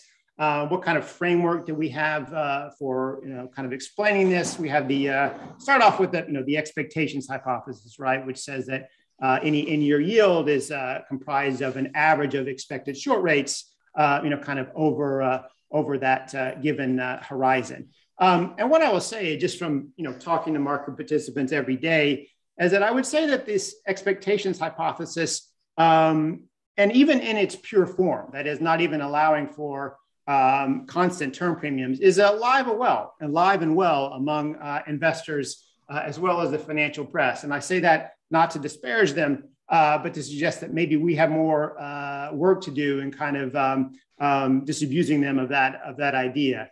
Um, but there is some prima facie kind of evidence that um, the expectations hypothesis can't really be so. Um, and some of you have seen this argument before. That if you see in the bottom panel here, what I'm showing is the uh, daily observations of the slope between 10 and three years, uh, just a simple histogram. Um, and you can see that 92% of all the observations are to the right of the origin, meaning 92% of the time on a daily basis, going back to 1987, uh, the yield curve has been upward sloping rather than downward sloping. And if the expectations hypothesis were right, um, that would imply that investors expected the Fed to have been tightening 92% of the time. Okay, which seems implausible because because we had uh, you know at least four uh, NBER uh, recessions um, uh, during that period, right? So that seems like it's a, a stretch to to, uh, to think that the expectations hypothesis holds in its in its strict form. Um, now, we talk about the distinction between expected rates and term premiums mattering for monetary policy um, in the sense that you know you get two different interpretations of a upward sloping yield curve, right? If the yield curve is upward sloping because expected rates are expected to be high or higher, than the Fed should be tightening monetary policy because expectations for growth and inflation are higher. But if the conversely, if risk aversion is high and term premiums are high, then that would be motivation for uh, the central bank to be easing monetary policy uh, um, instead.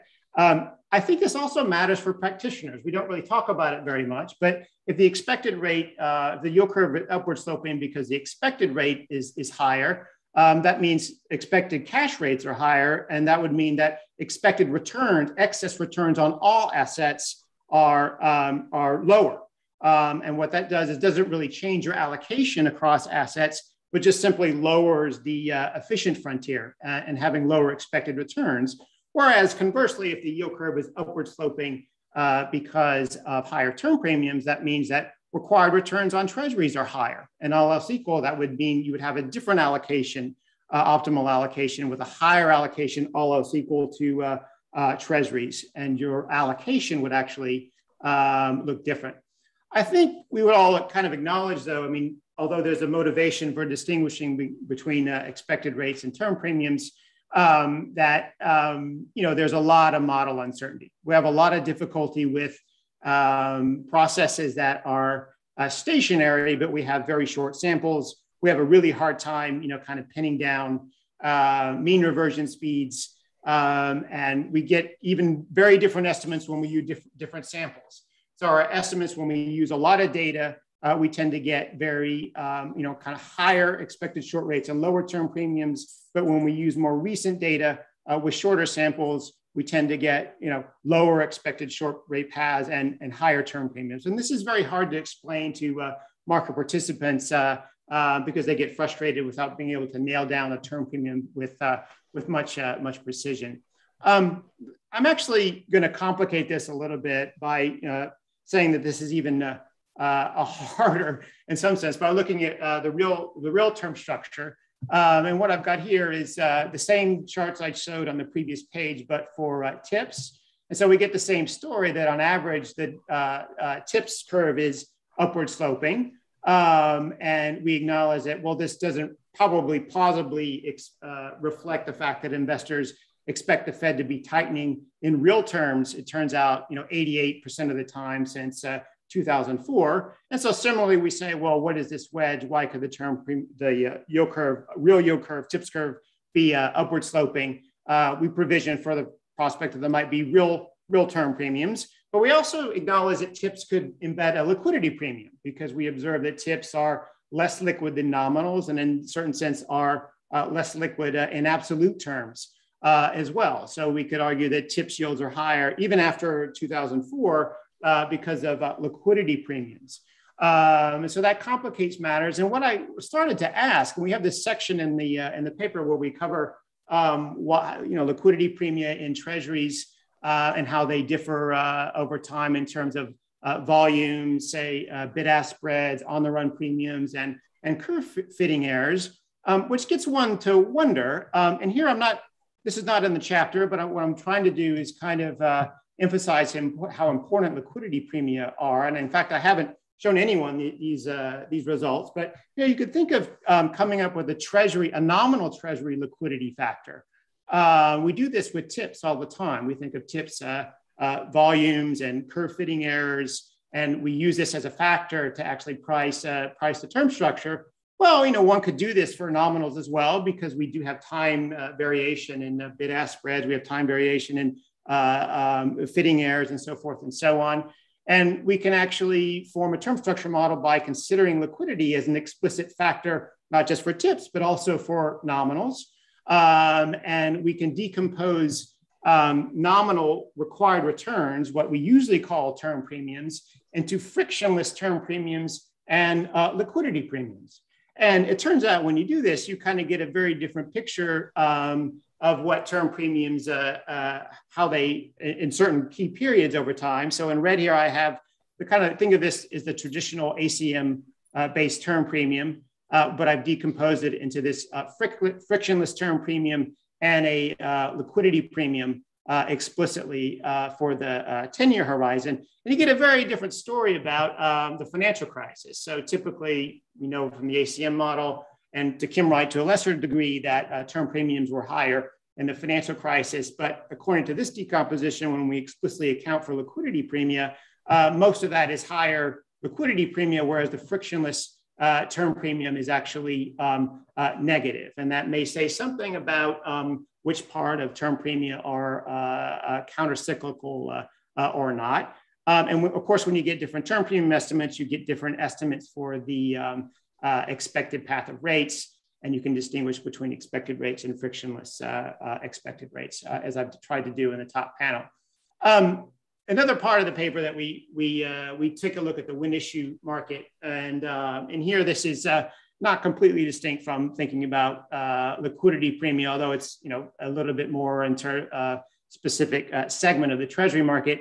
I'm running out of time, but um, we just wanted to take an exploratory look because there really doesn't seem to be a lot in the literature on um, when issue pricing uh, relative to other, other securities. Um, and so our motivation here, what we're doing is basically our workhorse, me workhorse methodology is to think about pricing errors relative to a fitted curve. So if you look at this equation, we have quotes on the uh, when issue uh, uh, security, and then we have a fitted value based on an estimated discount factor. Now, we've estimated the discount factor obviously with issues that are, uh, are issued. Um, and then we apply that. Uh, think of this as kind of a synthetic yield on the on the when issue, and this is our premium. Uh, and we go back on our sample uh, back to uh, early 1987. Uh, you can see here as an example, we fit the curve. These uh, red dots here um, at the bottom are solid dots, are the actual when issue yields, and the hollow red dots are where the fitted value should be. And you can see that here, at least in this example, they're trading, you know, kind of below the fitted uh, the fitted curve, and so there's actual premium uh, for the when issue uh, security. We do this over time, obviously, for all observations in our sample, and this uh, black line is the time series that we get, and on average, you can see that in general, the when issues uh, do tend to trade below uh, the fit of curve. But in closing, I would make three observations about this. You know, one is this is very variable uh, series. It's very volatile, so it's not you know kind of always uh, always positive. Um, a second is this is you know maybe a measure of treasury market illiquidity, but it doesn't correlate positively or negatively at all. It seems to be an orthogonal source, and indeed it's uncorrelated to uh, overall curve fitting errors uh, over our sample. So it may be telling us something different. And we do uh, find some differences in terms of tenors uh, and other factors which are, uh, are interesting to us. So here down here in the bottom panel, we're showing on a CUSIP by CUSIP basis, the blue dots are the, uh, the 10-year when issue premiums and the green dots are for the two-year. Um, and statistically, when we look more at uh, conditional errors, we find that there is uh, more uh, uh, when issue premiums are actually higher for the for the 10-year sector, which may be another argument. And I think David might have some comments on market segmentation in the treasury market. Uh, so sorry, the fact that I've run over is uh, pretty indicative of uh, the challenges that we had in trying to cover uh, such a familiar but uh, challenging market. But uh, that's what we have so far. So thanks. Thank you, Benson. And David Lucca will discuss.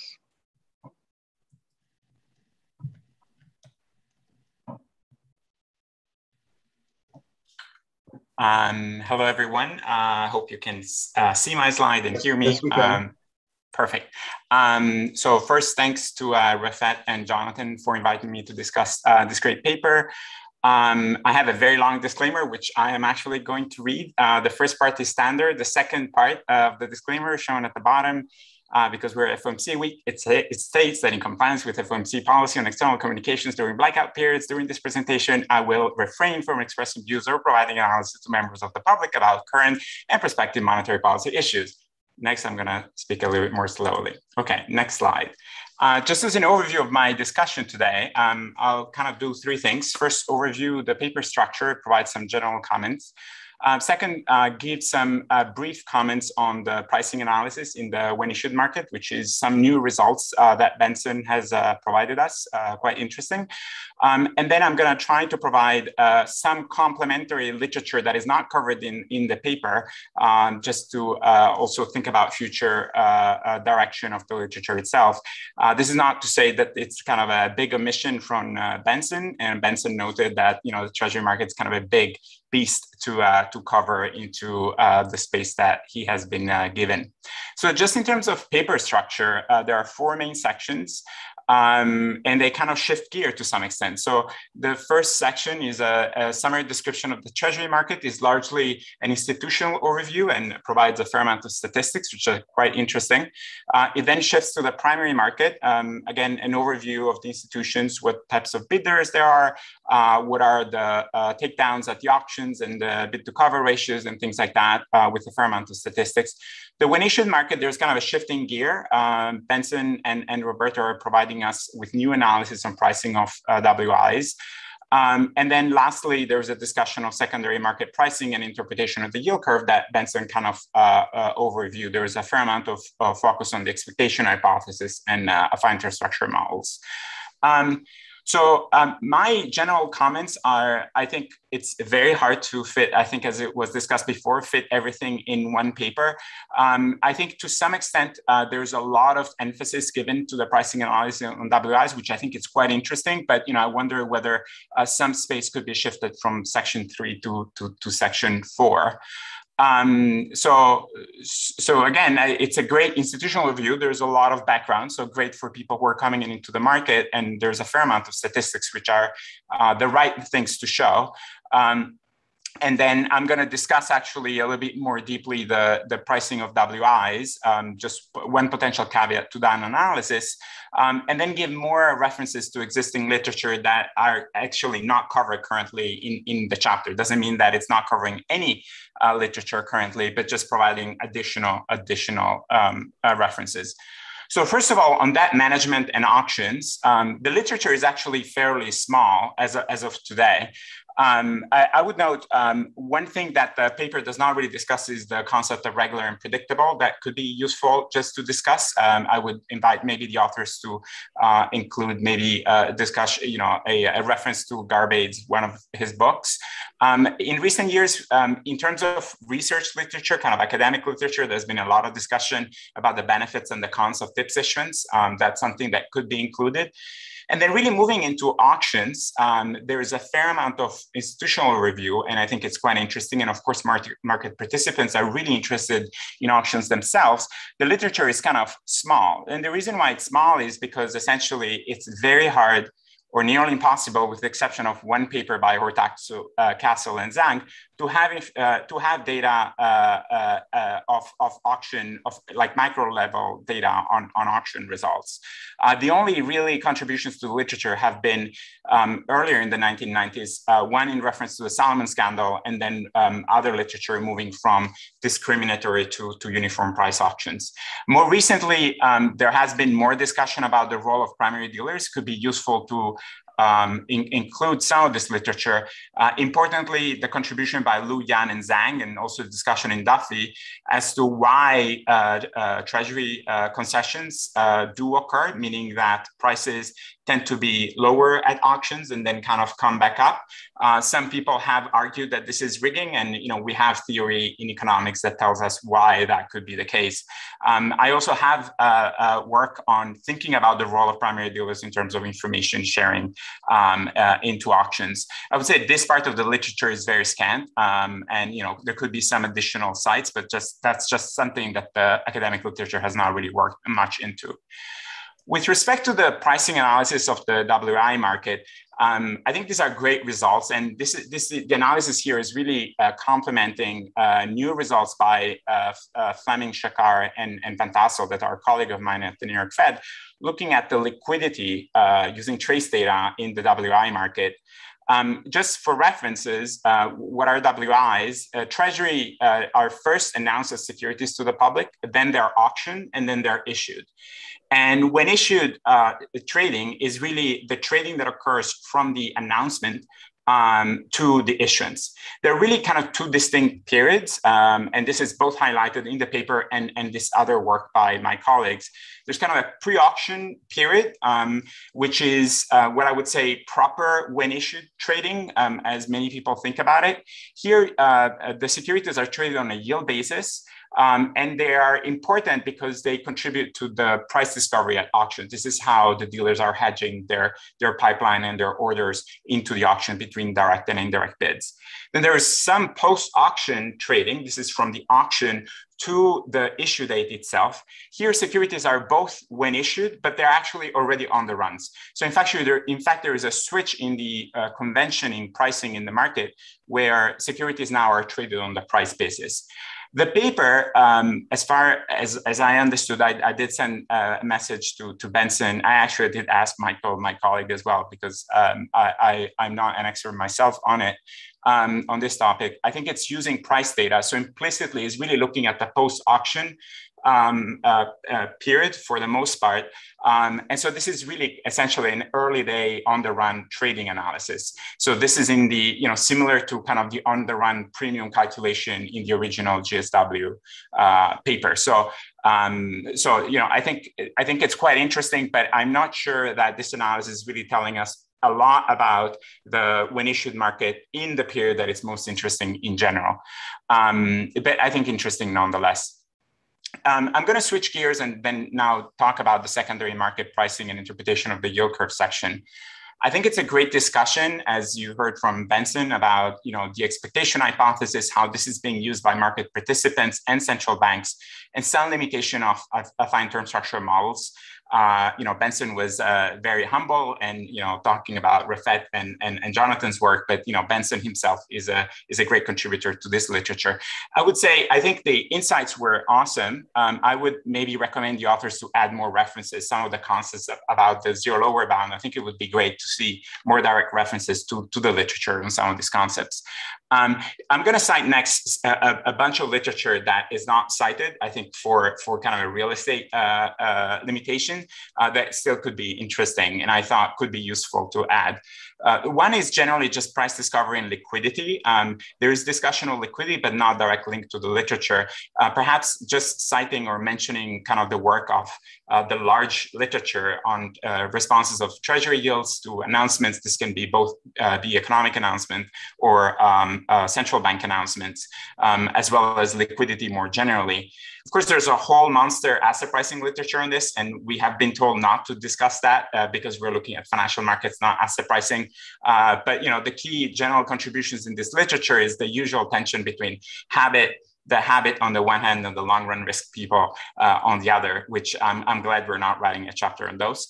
Um, and then I think the most interesting part, um, and I think this is very much related to what, what's happening in the in overall in the chapters as well as the, in the current chapter, is kind of the role of intermediaries, investors' demand and supply for pricing itself.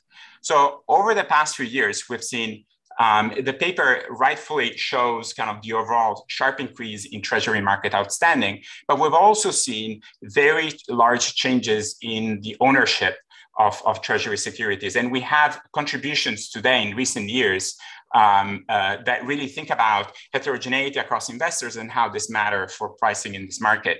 Um, I think the most striking thing here are the rightmost bars where you see that the two largest uh, investors, namely the Federal Reserve and the rest of the world, have kind of switched places, uh, almost switched places to some extent.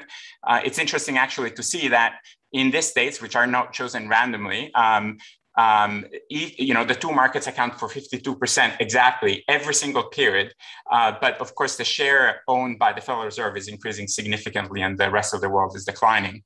Over time, we've also seen a decline in uh, the ownership from long-term investors, and I'm going to cite literature that thinks about that, um, as well as state and local governments. Uh, but we have seen a sharp increase in the ownership of treasuries from uh, money market funds, mutual funds, and ETFs. This is mostly ETFs, um, as well as household uh, plus hedge fund, because we know that the household sector and the flow of funds is really hedge funds, uh, as well as banks. Um, interestingly, um, brokers and dealers, as we know, they are key uh, uh, uh, investors in this market, but really own a very small fraction of the market generally. They are both long and short the securities. So, what does the literature say um, uh, at this point about these types of investors? Uh, first of all, uh, there is uh, two key contributions on the role of dealers in pricing uh, treasury securities. Um, both Adrian Etula and Muir, I think this is the key uh, uh, site in this literature, but more recently also the work by He, Nagel, and Song that look at the sell-off in treasuries in March of last year and really show the importance and discuss the importance of sorry, dealer, brokers and dealers balance sheets in, in pricing um, treasuries uh, and providing liquidity in that market.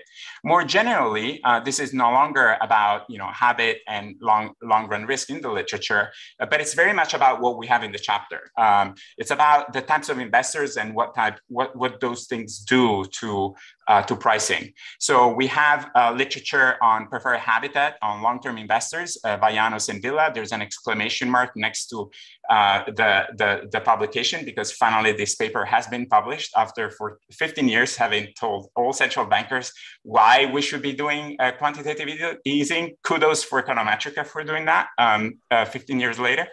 Um, and then um, and then we have all sorts of demands for specific from specific investors, uh, such as MBS investors. This is also work by Roberto himself. Um, there is work uh, uh, by Domanski, Shin, and Sushko, although not in the US, about generally hedging demand from long-term investors, as well as um, the differential role of, uh, of, of securities as an inflation hedge or, or not. Um, and then, then, of course, there's literature on yield, uh, yield-oriented investors. Um, and then on the supply side, uh, there is increased interest um, in really thinking about how much uh, the treasury and debt management uh, matters for pricing of the securities. And the other side of that is QE and how the two things interact. So I am uh, over time, um, well over time. So I'm going to stop talking right now. But you know, the punchline here is that it's super interesting uh, and potentially adding some uh, additional um, uh, references to the literature. Thank you. Thank you, David. Uh, I think we've time for one question or comment. Let me take a second to thank the authors for, in particular, working on the when issued market. Uh, we asked them specifically to include that. And it's a uh, pain in the neck because no one does that. So there's nothing to base on. And uh, it's a great contribution on its own right. Yes. Well, I appreciate that. And my, my response to David's comments, I think we do need to do a better job maybe of framing it and also adding some specificity about, you know, when, you know, what part of the when issue premium and, you know, the timing of that market that we're, we're capturing uh, is definitely what we'll do in the, the next round. But I uh, really appreciate all your comments, David. Thank you. Okay, let's move on now to mortgage-backed securities. And Jim is presenting. Okay. We see your slides. Great. You can hear me? Yep, we hear you. Excellent. You. Okay. Um, uh, so thanks a lot. Uh, I echo everyone else's comments. It's great to be part of this initiative. Uh, so thank you to Refet and Jonathan uh, for that. So, okay, we're going to talk about mortgage-backed securities now. Um, and this is a joint effort with uh, with David and and with Andreas Fuster. Um, and I won't uh, repeat David's extremely long disclaimer, but but you know the same disclaimer applies. I'm not going to talk about monetary policy, and these are not the views of the Fed. Okay, so uh, so the MBS market is uh, you know one of the largest and most uh, liquid global fixed income markets, uh, particularly in the United States, um, where there's about 11 trillion dollars in bonds outstanding, uh, and you know roughly 250 300 billion dollars in daily average trading volume. Um, so you know the US is the largest uh, market, but but mortgage securitization and and sort of a related instrument, covered bonds, are also popular internationally. Um, so this is a key source of financing for real estate. Um, uh, so, for example, you know uh, about two thirds of U.S. home mortgage debt is securitized into MBS uh, as of 2021. Um, and securitization, you know, there's sort of a, a pretty uh, significant literature that sort of shows that securitization has a variety of effects on sort of, you know, broader financial market and macro outcomes. And I'm going to kind of get back to that uh, at the end uh, a little bit if I have time. Um, okay, so so you know what are we trying to do in this chapter? We're trying to review the MBS market uh, with a particular. We sort of review it broadly, but we have a particular emphasis on the agency MBS market in the United States. Um, we're trying to uh, uh, you know one, one goal is to present some, you know, a set of stylized facts and statistics about the market size, growth, liquidity, and so forth that will be useful as a resource for people who are interested in this market. Um, and, and, then, of course, we're trying to sort of highlight insights from the sort of growing body of academic research on MBS. Uh, this is the structure of the chapter itself. Uh, so we have a section where we talk about the MBS universe. So this is kind of some institutional detail uh, and some time series and cross-sectional facts. Uh, we talk a bit about security design, uh, risks of, age, of MBS and asset pricing, um, the trading environment, um, and then sort of we sort of step back a little bit and talk about, you know, sort of broader economic effects of, of uh, MBS and mortgage securitization. Uh, and then we're kind of finishing up um, with some sort of open questions and sort of ideas for future research. Okay, so so start with the universe. Um, so you know, a simple definition of MBS. These are bonds with um, cash flows that are tied to payments on a pool of underlying mortgages. Um, those mortgages might be either residential or commercial mortgages. So there's a, a market, MBS market for both of those. Um, we mainly focus on RMBS in the chapter. Um, if you're going to talk about the MBS market in the United States, sort of a key distinction uh, here is the difference between the agency market and the non-agency market. Um, so the agency agency MBS um, carry a credit guarantee to investors um, for one of these three agencies, Fannie Mae, Freddie Mac, or, or, or Ginnie Mae. Um, and that basically is, essentially insulates the uh, investor from, from credit risk. Um, uh, there's a, a, chapter, a separate chapter on these agencies that, that's coming, I think, tomorrow. Um, that's going to go into a lot more detail about exactly what, what these agencies do. Um, uh, non-agency MBS, uh, on the other hand, you know, investors are bearing the credit risk, um, and, and, as a result, um, the MBS are sort of tranched by seniority um, rather than being pass-through pools. And, and that's basically to kind of appeal to different classes of investors with different credit risk appetites. Um, so you have this sort of coexistence of the agency market and the non-agency market, um, and sort of competition and substitution between these two markets is kind of a key market uh, dynamic. Uh, um, and this, I'd sort of like, you know, people are interested in this. I'd recommend this nice paper by Adelino, McCartney, and Chua that kind of like looks at this substitution in the context of sort of like subprime mortgages in the United States. Uh, so here's some data. This is a plot of the stock of um, uh, uh, residential MBS uh, in the United States over time, uh, scaled by nominal GDP. Um, and so you can see this kind of this like very striking growth, obviously, since the, the origins of the market in the 1970s. Uh, you can see the market grows very significantly and peaks at you know, just under 50% of nominal GDP at the end of the 2000s, which is basically kind of the end of the, the, the mortgage boom and the, and the great uh, the global financial crisis.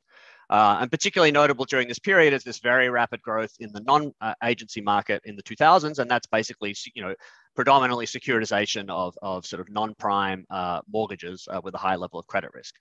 Um, and you can see sort of subsequently to the crisis, this non-agency market really diminishes in size and has now kind of shrunk back to being around the same size as it was in the 1990s. Um, um, so that said, like the overall overall mortgage securitization is still um, very popular and has even become more popular over time. So the black line here is on the right axis and is showing the fraction of residential mortgage debt securitized into MBS. And you can see that that's just going to continue to trend upwards over time, even, even in the wake of the crisis. And that's basically all, all concentrated in the agency market. Uh, so that's some some time series, uh, you know, uh, facts. Um, if we look in the cross section, so it's one of the things we do in the paper is present sort of a cross sectional snapshot of the agency MBS um, uh, of agency MBS pools based on um, eMBS security level data. Um, so that covers basically, so the universe there is about $7.7 trillion in pools um, split between Fannie, Freddie, and Ginnie. Um, if you look at the, the mortgages that are underlying those pools, 84% of that mortgage debt, it, it consists of 30 year fixed rate mortgages. So this is an extremely popular product uh, in the United States and particularly for, for um, securitized loans. Um, if you look sort of dig into that, that debt, you know, there's a pretty substantial degree of fragmentation and heterogeneity in terms of the underlying universe. So there are just over, slightly over a million uh, individual pools, um, right? And each of those pools is backed by a, a different uh, set of loans, right? So, so each one of them in some sense is unique in terms of its fundamental value. Um, there's a wide range of pool size. So the median on a weighted basis, the median pool size is about $350 million, but then the 99th percentile is about 40 billion dollars, right? So there's like a lot of wide variation there. Uh, and as we show in the paper, there's also kind of wide variation in terms of pool age, coupon, uh, and here it's like prepayment speed, which is particularly important because basically differences in prepayment behavior are the key driver of cross-sectional variation in value across these pools. Um, so you have this sort of fragmented universe. Despite that fragmentation, there's actually a very liquid um, and sort of like fairly centralized market for trading uh, MBS, uh, and that basically occurs through trading. Basically occurs through this relatively small number of um, to be announced TBA uh, forward contracts, and I'll talk a little bit more about that TBA market uh, later on. Okay, so that's sort of a sketch of the universe. Uh, so then we sort of think a little bit more about uh, risks and asset pricing. Um, so, so we sort of highlight four, four key, uh, you know, risks and drivers of value uh, in the MBS market. So the first one is simply duration risk, interest rate risk. So MBS have fixed coupons and a long notional maturity. So like other fixed income instruments, they, they move uh, um, with interest rates, inversely with interest rates.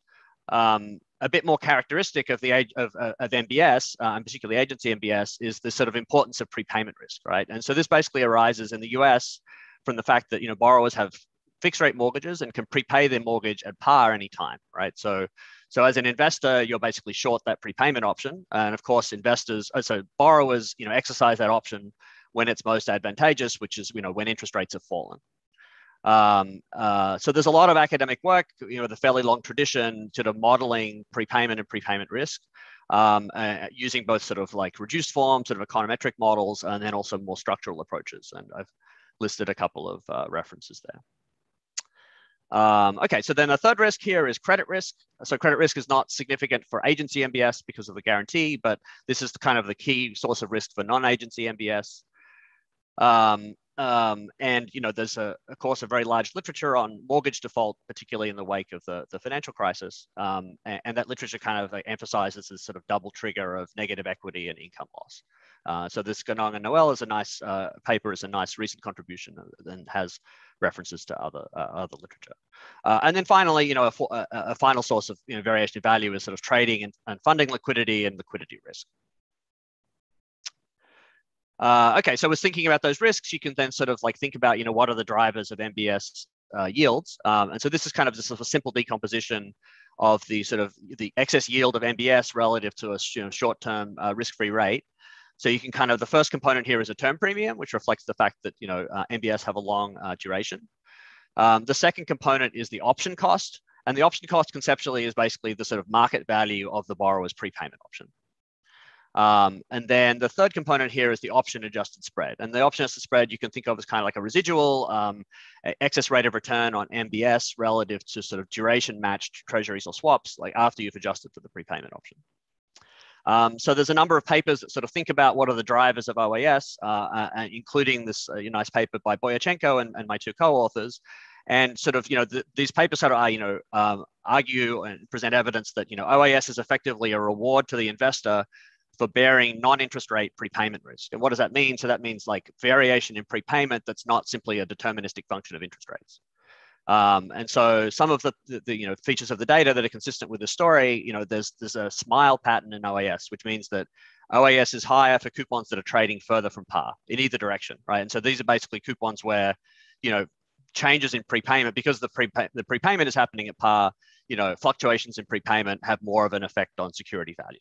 Um, OAS is positive for both interest only and principal only strips that have um, exposure to prepayment in the opposite direction.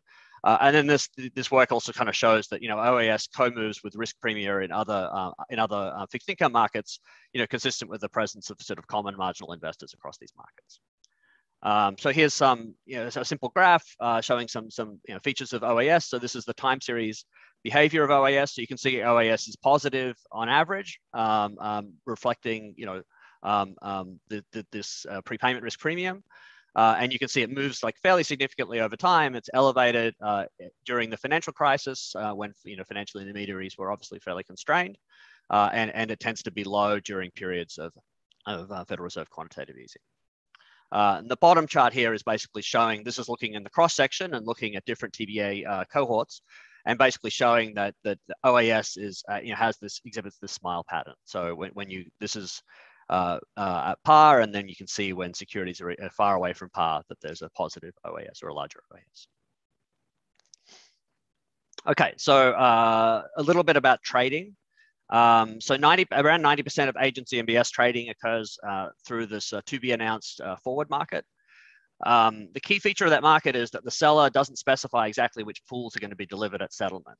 Um, so instead, what's agreed upon is basically six parameters of the trade, which is the agency, the coupon, maturity, price, face value, and settlement month. And then settlement happens once a month for each of these contracts. And, and you know, there's adverse selection here. The seller is basically going to deliver the, least valuable pools possible that satisfy uh, the, the criteria of the trade and satisfy good delivery guidelines. Um, so this is kind of an interesting trading structure. Uh, um, and, you know, it's interesting that this is such a liquid market despite that adverse selection. Uh, and, and, you know, there's a, a, growing literature on this on this market. And here are some of the papers uh, here. Um, you know, so although this is like where most of the trading activity happens, there's also an, you know, a, the TBA market coexists with the specified pool market where you basically trade these individual pools rather than just trading in, the, in terms of these cohorts. Um, and there's this uh, Fusari et al. paper that's coming out in the JF, sort of thinks about the asset pricing implications of the sort of this dual market structure. Um, within the market microstructure literature, there's kind of like fairly ample evidence that uh, TBA trading costs uh, are much lower than other other MBS or ABS uh, trades. Um, um, you know, consistent with this difference in trading volume. Uh, so, for example, this paper by Bessembinder et al. estimates that one-way trading costs are about one basis point for TBAs, but about 40 basis points for spec pools or CMOs. Uh, and then there's also this kind of interaction effects. Uh, this, this, this paper by Gao et al. kind of argues that TBA liquidity spills over to the specified pool market. So the TBA, uh, the TBA market has sort of benefits beyond, um, beyond the, the market itself. Okay, uh, a little bit about the economic effects of mortgage securitization, uh, just in one minute. Um, so, uh, you know, there's, there's a lot of work here, um, and, and, there's evidence suggesting that, you know, securitization lowers mortgage rates and, and increases credit supply, uh, but on the other hand, may create moral hazard uh, by weakening screening and monitoring incentives because, you know, the, the, the originator is not retaining all of the risk on balance sheet. Um, other work kind of thinks about the, the effects of securitization uh, on, on the financial system. Um, so uh, as David mentioned the last uh, uh in his discussion, you know, MBS convexity hedging uh, you know, generates volatility in the treasury market. Um, and it also changes the structure of the financial system. So securitization uh, promotes non-bank lending because it basically you know, unties this link between lending and having access to deposit finance. and within the banking universe, weakens the link between lending and bank financial condition. Um, other works uh, finds evidence that, that um, securitization affects mortgage design, uh, and, in particular that the sort of wide availability of fixed rate mortgages in the United States is tied to the to uh, securitization uh, markets. Um, and there's evidence that, that, there are effects of securitization on home prices and home ownership. Um, I'll kind of skip this because I'm out of time. So um, we, we want to sort of finish up just highlighting a few open questions and, and sort of you know, interesting topics for future research. Uh, the first one here is about securitization and alternative mortgage design. So there's been kind of like uh, quite a bit of work proposing alternative mortgage designs that either improve macro stability or have other benefits. Uh, for example, mortgages that where borrowers don't have to explicitly refinance, the, the rate you know sort of falls automatically uh, with market rates, particularly during a recession. Um, and so I think there's an interesting question here about, you know, how does funding work for, for those kinds of loans? And in particular, whether, you know, the sort of structure of the MBS market kind of locks in the existing designs, right? So we have this equilibrium where this very thick market for 30 or fixed rate mortgages, which is very liquid. Uh, and in some sense, does that kind of then mean it's, it's hard for uh, uh, for new mortgages to, to come along because they basically don't benefit from those thick market externalities. Um, you know, other questions, you know, I think that I showed you that the you know the, the sort of dwindling uh, of the non-agency market since in the period since the the Great uh, Recession. You know, I think there's interesting uh, research to be done here about what's limiting that recovery, and, and particularly the role of regulation. So people kind of highlight the regulations now very tough for non-agency securitizations, and maybe that's the re, you know maybe it's sort of too tough in some in some social sense. Um, uh, kind of in common what they with, what uh, David talked about uh, for for treasuries. You know, I think thinking about investor behavior is interesting. For example, MBS. You know, banks really hold a lot of MBS in portfolio now, and in fact, MBS are now fully half of all bank security holdings. Um, so that's quite striking. Uh, and thinking about what are the effects of that on asset pricing and other things, I think is interesting. Uh, I think you know the, the, the current mar- uh, literature is fairly US centric. I think there's a lot more work to be done on, on, international markets and thinking there's a lot of variation in how mortgages are funded around the world. Uh, I think this is a really interesting topic for research, both thinking about MBS and covered bonds. Uh, and then finally, I kind of mentioned securitization in the environment. So there's kind of this interesting, Fannie Mae has this interesting program uh, of you know, green MBS to kind of encourage retrofitting of buildings and things like that. So uh, I think that's an interesting topic for research as well. So thanks. Thank you, Jim. And Benson will be discussing.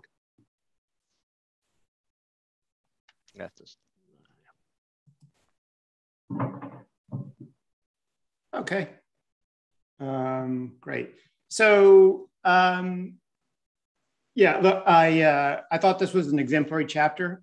Um, uh, my job is not to be uh, too good, too gushing. I think I think it's really lucid discussion, which um, is both useful as kind of an introduction if you're completely uninitiated, as well as uh, you know kind of an update for those of you um, like myself who's you know kind of grasped of this peaked uh, uh, some years ago. So um, I think they did a very good job.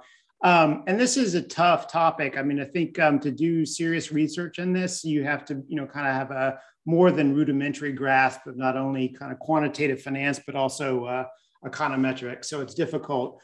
Um, I just flagged here at the top, you know, kind of what they did uh, in the paper. Uh, I won't go through it again. You know, just a, I think a useful um, overview of the market structure and segmentation, and then you know how uh, details on security design uh, useful discussion of uh, the process of um, you know origination to securitization, including some of the downsides of uh, securitization, and then I think as uh, Jim went over um, some of the uh, trading dynamics as well, I think was was very useful. Um, I think we've all, as authors, kind of struggled with how to organize our chapters. I think um, they did as fine a job as uh, you know as any, and I think it will um, you know kind of uh, depend on the editors uh, to sort that out. So I don't have any um, you know strong strong views, but what I will do, I mean, look is uh, look. I mean, I think it was you know very effective exposition. And I, you know, I think is in any case, if we write successful chapters, there will be, you know, they will intrigue our readers and they'll want even more information. Okay, so what I thought I would do with my 10 minutes is kind of like flag a few things that you know, if I uh, still worked at the Fed, I'd come down and knock on, you know, David or Andreas or Jim's office and say, hey, well, what do you think about this? Uh, and these might not be necessarily well well posed, but these are, you know, maybe as a pr- practitioner, you know, kind of um, the the thoughts that I had as I, you know, kind of read the chapter and, you know, kind of wanted what I wanted a little bit more of, maybe not necessarily in the chapter, but you know, I kind of wanted these three authors to, um, you know, maybe help me out with. And, you know, one was prepayment models. And, you know, obviously someone who's, uh, not initiated won't be as interested in the guts. But I do think, you know, one of the things that um, Roberto and I in our analysis of the treasury market is we recognize that the yield curve is its sensitivity to underlying factors, be it inflation or growth or other things, isn't the same today necessarily as it was, you know, 20 years ago or even five years ago. Um, and one of the things we try and build into our models is, you know, that you know coefficients are are dynamic uh, and they change over time. And I do kind of wonder, I mean, kind of given the evolution of this market, the MBS market, and the Fed's intervention, if um, you know how how this kind of this type of analysis of changing uh, coefficients, be it moneyness or burnout in these models, um, has changed over time, and it might be uh, particularly apt uh, uh for this uh, uh, this market. Um, I was also interested that they flagged that dispersion across OAS models actually matters, right? There's this kind of debate about uncertainty and risk premium, whether or not it raises risk premium or maybe actually lowers risk premium. Uh, there's obviously a paper which um, looks at the dispersion of OAS models and you know kind of finds that uh, greater dispersion in, in, uh, in, prepayment models tends to lead to um, higher required returns. I also wonder about uncertainty within specific models, right? Because at different times you have different levels of interest rate uncertainty that you know you're getting different paths for rates, and that kind of uncertainty about um, the path of rates by you, know, you might have a wider distribution of around uh, prepayments, which could uh, could matter actually for for pricing. So I guess you know I wonder about that, and so that's something that I would uh, uh want to run past them. Um, lastly, yeah, I, I got smiled when uh, David mentioned uh, convexity hedging in our chapter, and I kind of returned the favor here. Right, I kind of wanted to learn a, a little bit more about that and think about how the markets that we're covering interact and um, I'm sure there's Fed staff that are uh, busy toiling away at this, but I do kind of wonder um, how the impact of convexity hedging has changed, not just with the first, um, uh, you know, not in, in the measures in, uh, in response to the financial crisis, but even those after, uh, you know, COVID-19, how that dynamic has kind of changed uh, these days, because obviously you have a huge market participant, which does not necessarily have the same, uh, is hedging the same risks. so that would be interesting. Um, the tangent, though, that I'm going to go off on for the remainder of my time is just kind of um, some comments on uh, OAS. Uh, and Jim already showed this picture um, of um, OAS, and I think this is just from, you know, kind of from one, uh, one model. Um, and um, I think I would also recommend uh, the paper that uh, uh, David and Andreas and Nina wrote is a great, you know, kind of exposition of, you know, not just kind of where we get these spreads, where they come from, but some of the analysis of both its, the time series and the cross section of OAS. Um, and I take it that you know I, OAS should you know if, if properly kind of or formally measured and without error should not necessarily be less than zero. We shouldn't get negative readings, uh, but we do. um, at least with this model, I don't want to make too much of it because I understand that there's model uncertainty uh, but you know we see a, a negative uh, uh, reaching negative levels here before QE3, and then maybe it's timely now because it, it, looks like you know close to a sample low, and we're still I think underwater right this year, right? So it seems to be you know kind of timely uh, uh, timely to think about it, and so. Um, you know, I mean, it, it, formally, you may not get zero, but you know, there could be market frictions and constraints where you could get negative OAS. And um, you know, I kind of wonder uh, wonder how you how you could get there. And I'm going to kind of maybe go down a rabbit hole in one way that you could get there, um, maybe not successfully, and that is just kind of from a simple uh, CAPM lens, right? So how could you possibly get negative OAS? So I think you know, kind of obviously in in absolute terms, um, insofar as any asset um, you know correlates negatively uh, with consumption growth or uh, the market could conceivably, on average, uh, command a negative risk premium, right? I mean, you think of insurance, right? That's why we uh, we pay for home insurance and car insurance and all that other kind of stuff. Um, and so, an asset which pays off in states of the world where nothing else does, or few assets do, um, you know, you could observe negative uh, premium absolute uh, terms. So, one way to start, just to kind of get uh, a handle on how MBS trade is, what I've got here are uh, uh, uh MGARCH models of uh, dynamic betas to the S&P for in blue, and I'm just crudely using uh, ETF returns on MBB, which is a, a, a um, agency mortgage ETF. as well as IEF, which is um, the US Treasury ETF for maturities of seven to 10 years. And then, you know, the first blush, you know, things kind of pass the test in terms of you're seeing negative uh, betas to the S&P um, consistently over the sample, uh, and maybe more tellingly in terms of comparisons, uh, even dynamic correlations uh, on a daily basis remain negative between these two ETFs and, and the equity market. Um, there is some variation here um, uh, which is is maybe interesting, but on the whole, kind of passes the test of well, at least in a you know simple, stupid CAPM sense that you know you have uh, these assets which at least hedge you against uh, stock market risk. So you know, kind of in that sense, um, uh, so far so good. But OAS is again a spread over over treasuries, right? And so um, it has to be that the required returns on MBS you know, have to be actually less than that for uh, um, uh, than treasuries are against the yardstick risky asset class. And indeed, you know, looks like treasuries are on average doing a little bit better job of hedging equities uh, than MBS do. Um, no real priors for going there, but you know, I have this picture of negative OAS spread, so I'm curious. Uh, and today, you know, most recent part of the sample estimated uh, through Friday is no really difference from uh, before. So it's not as if MBS are doing a uh, more exemplary job of, uh, of hedging hedging equity risk. Um, last thing I will conclude on is, um, is uh, uh, when we think about this as practitioners, it's not necessarily, uh, you know, kind of the expected value of your hedge, but also the dis full distribution around it, right? So on average, you could expect a hedge, but you may or may not be uncertain about your hedge and your hedge might have a certain type of skew. Um, and one of the, the kind of imperfections of treasuries, I think, is fairly striking. And I was wondering if this also is germane to uh, MBS. I hadn't looked at it before, but the chapter wanted, you know, kind of motivated me to look. Uh, and so what I've got here in red is for the distribution of treasury returns when the stock market does really poorly. Okay. And so helpfully for a hedge, this distribution does lie to the right of the origin. Okay. So on average, it's you know, uh, uh, it works the way that it, it, it should. Um, but look at this mass to the left of zero. There is substantial probability, um, and this is based on quantile regressions, uh, that you actually uh, lose on your hedge, that treasuries actually have negative returns, uh, especially when you don't want them. Uh, but correspondingly, this distribution in green is the return on treasuries when the stock market does really well. And here the return on treasuries is negatively and necessarily, you know, and more observably so, right? Because the distribution is obviously much narrower on the equity downside than it is here um, when uh, when when equities do uh, really well. So um, this, you know, I think treasuries to some degree this is problematic insofar as um, they may on average hedge you pretty well, uh, but on the downside, it's sort of the opposite of a positively convex hedge because I'm actually pretty uncertain about my insurance.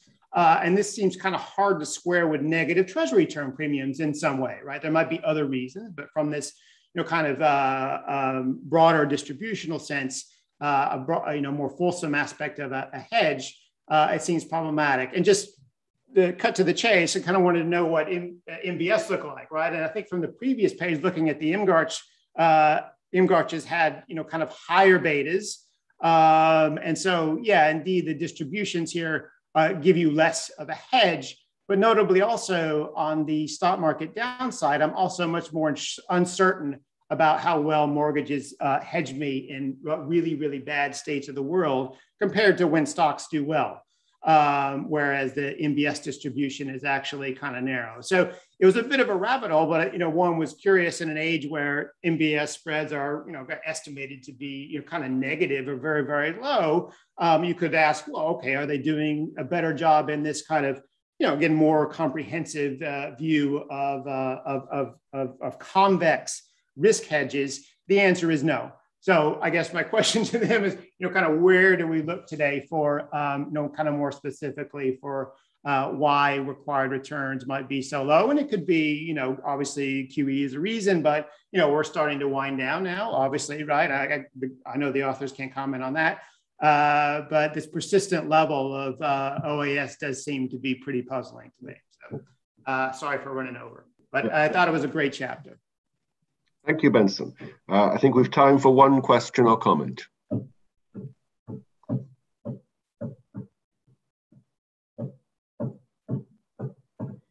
If there's nothing, uh, David, do you want to say anything uh, quickly? Or Jim, uh, sorry, Jim, or uh, well, anyone, any of the authors? David can jump in. Um, thank you, Vincent. This is uh, super uh, interesting. So uh, I think the short of it is you're right. The negative OAS taken uh, literally is a puzzle in itself.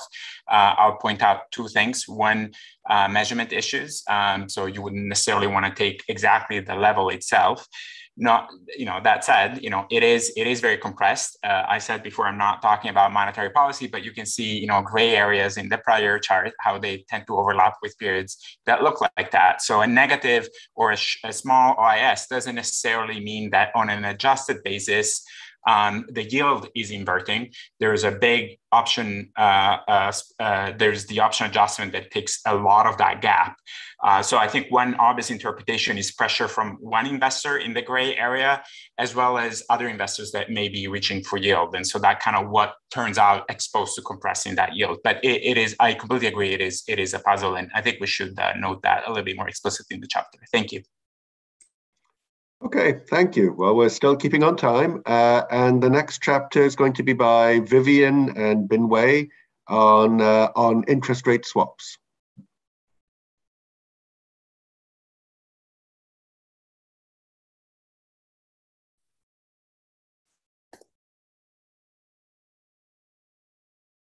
Okay, good. Okay, we see your slides and we hear you, so take it away. Okay, great. Thank you very much for Refet and Jonathan for inviting us to uh, participate in this uh, research handbook on financial markets.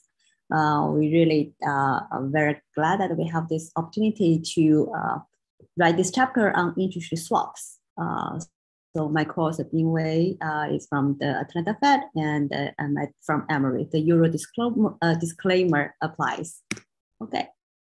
So, uh, so in this chapter, first we'll review the fundamentals on interest swaps. Uh, so, which is a derivative contract uh, that uh, two counterparties agree to exchange streams of interest payments during the duration of the uh, swap contract. And then uh, in this chapter, we'll review several strands of literature on uh, interest swaps, uh, in particular in our uh, chapter and in this presentation, we will focus on the three uh, topics. One, the usage of uh, interest swaps by firms. And second, the dynamics of swap spreads.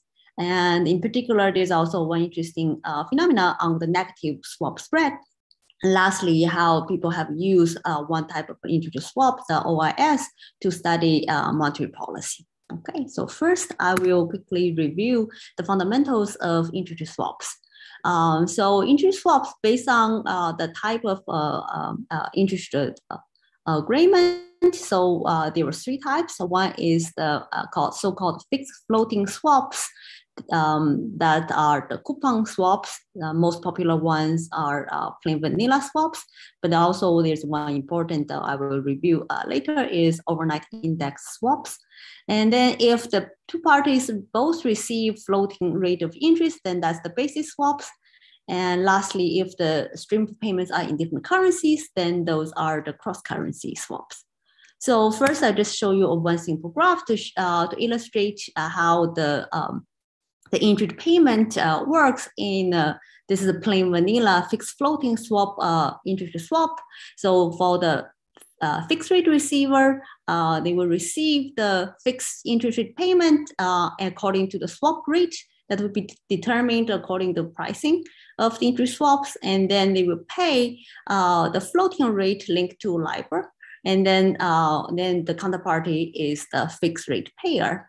Uh, in the chapter, we also uh, presented examples for basis swaps and cross-currency swaps, as well as how the, uh, the swap rates are priced.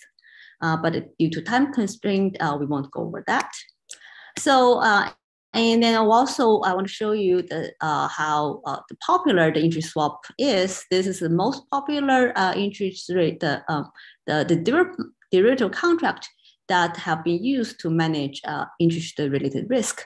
So um, this graph, you see from 1998 to 2000, uh, 2020, the size of swap contract, uh, swap market. The blue line, blue bars are the coupon and basis swaps, and the red bars are the cross-currency swaps. And for comparison, we also have the, the green, yellow, greenish bar is the uh, interest options and the FRA uh, of, of uh, the, the, the, all these for comparison. So, so you can see the size of the swap market is very big and daily turnover is about $4 trillion. And in terms of history, the first swap contract was introduced in 1981. It was between uh, the World Bank and uh, IBM. It is cross-currency swap. And since then, the market has uh, vastly uh, developed.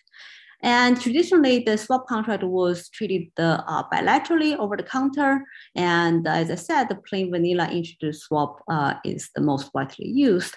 And then after 2008, 2009 global financial crisis, there have been some new developments. Um, so first, as uh, all um, many of us know, uh, there's uh, uh integrity of the LIBOR uh, was called into question. So there will be no more benchmark LIBOR contracts by the end of this year.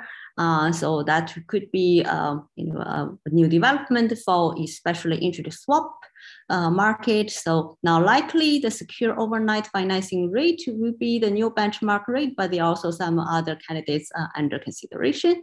Um, the second, uh, uh under the uh, Dodd-Frank Act, um, and also uh, G20 um, country leaders all agreed to uh, regulate the swap market.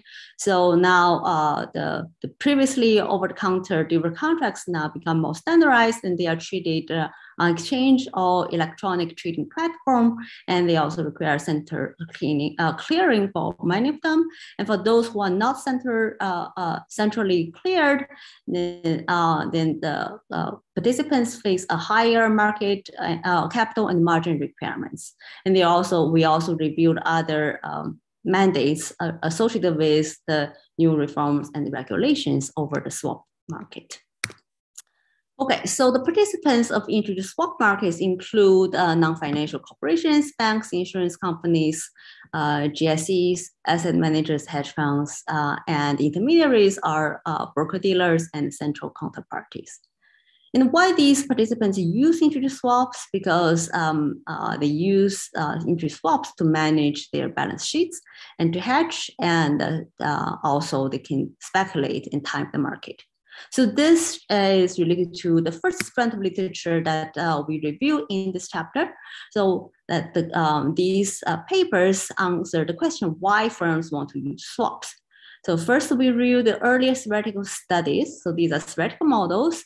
Um, uh, one by uh, Titman, 1992. So they he showed that if there is asymmetric information and the firms have private information about how their borrowing cost will be lower in the future, then these firms want to borrow in short term and then swap uh, the floating for fixed rate. So then that can achieve a lower interest rate cost.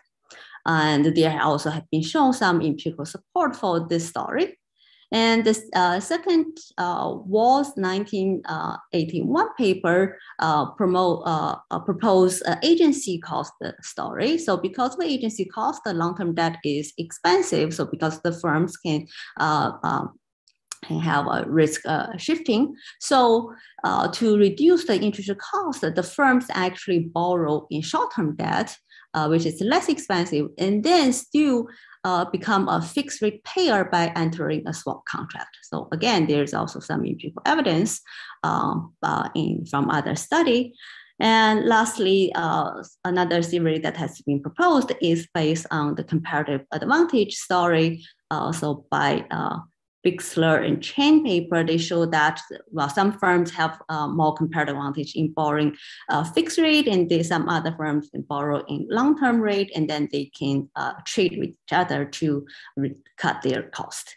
Okay. So these are the earlier theoretical studies uh, with some, some empirical support, and then later, because uh, people now get used uh, get um, the the firm usage swap usage by firms dataset.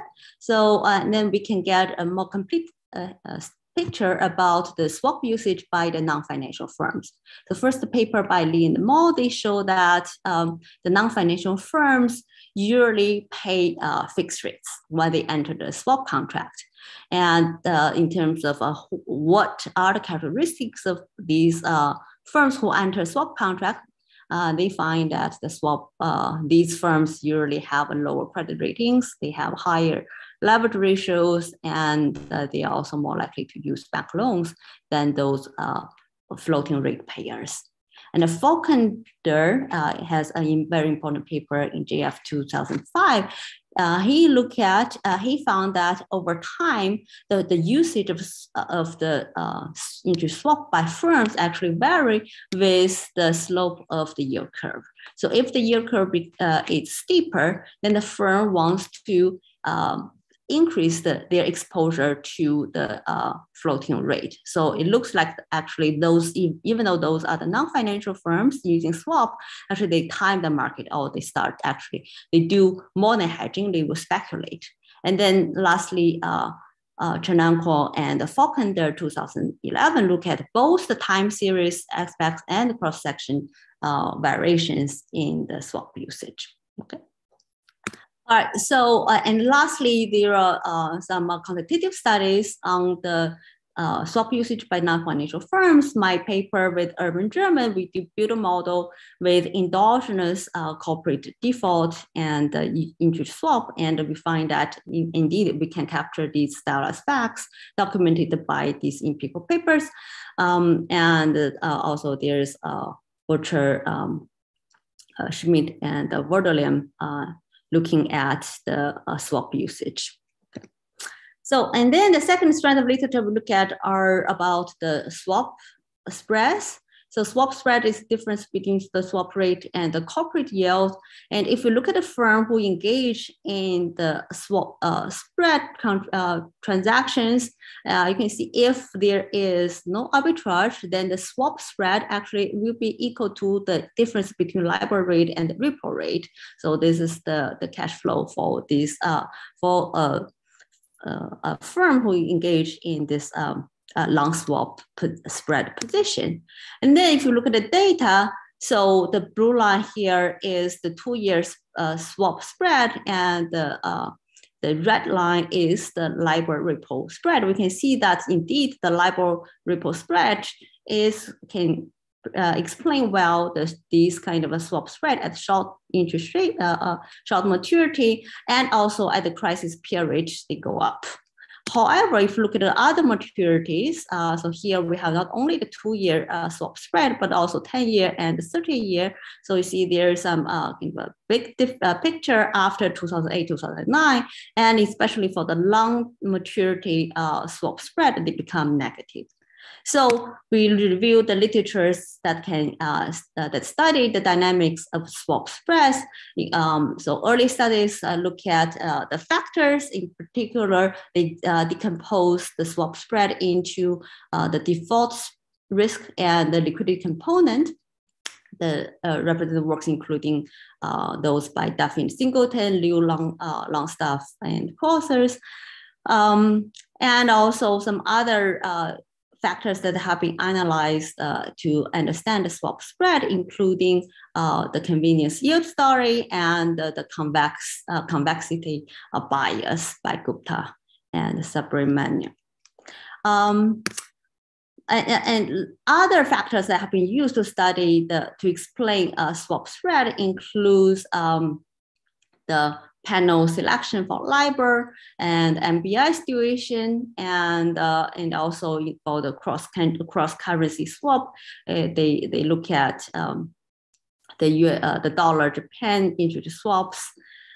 Um, uh, so much time we have here, and uh, so and lastly the collateral uh, collateralization story on the swap spread dynamics.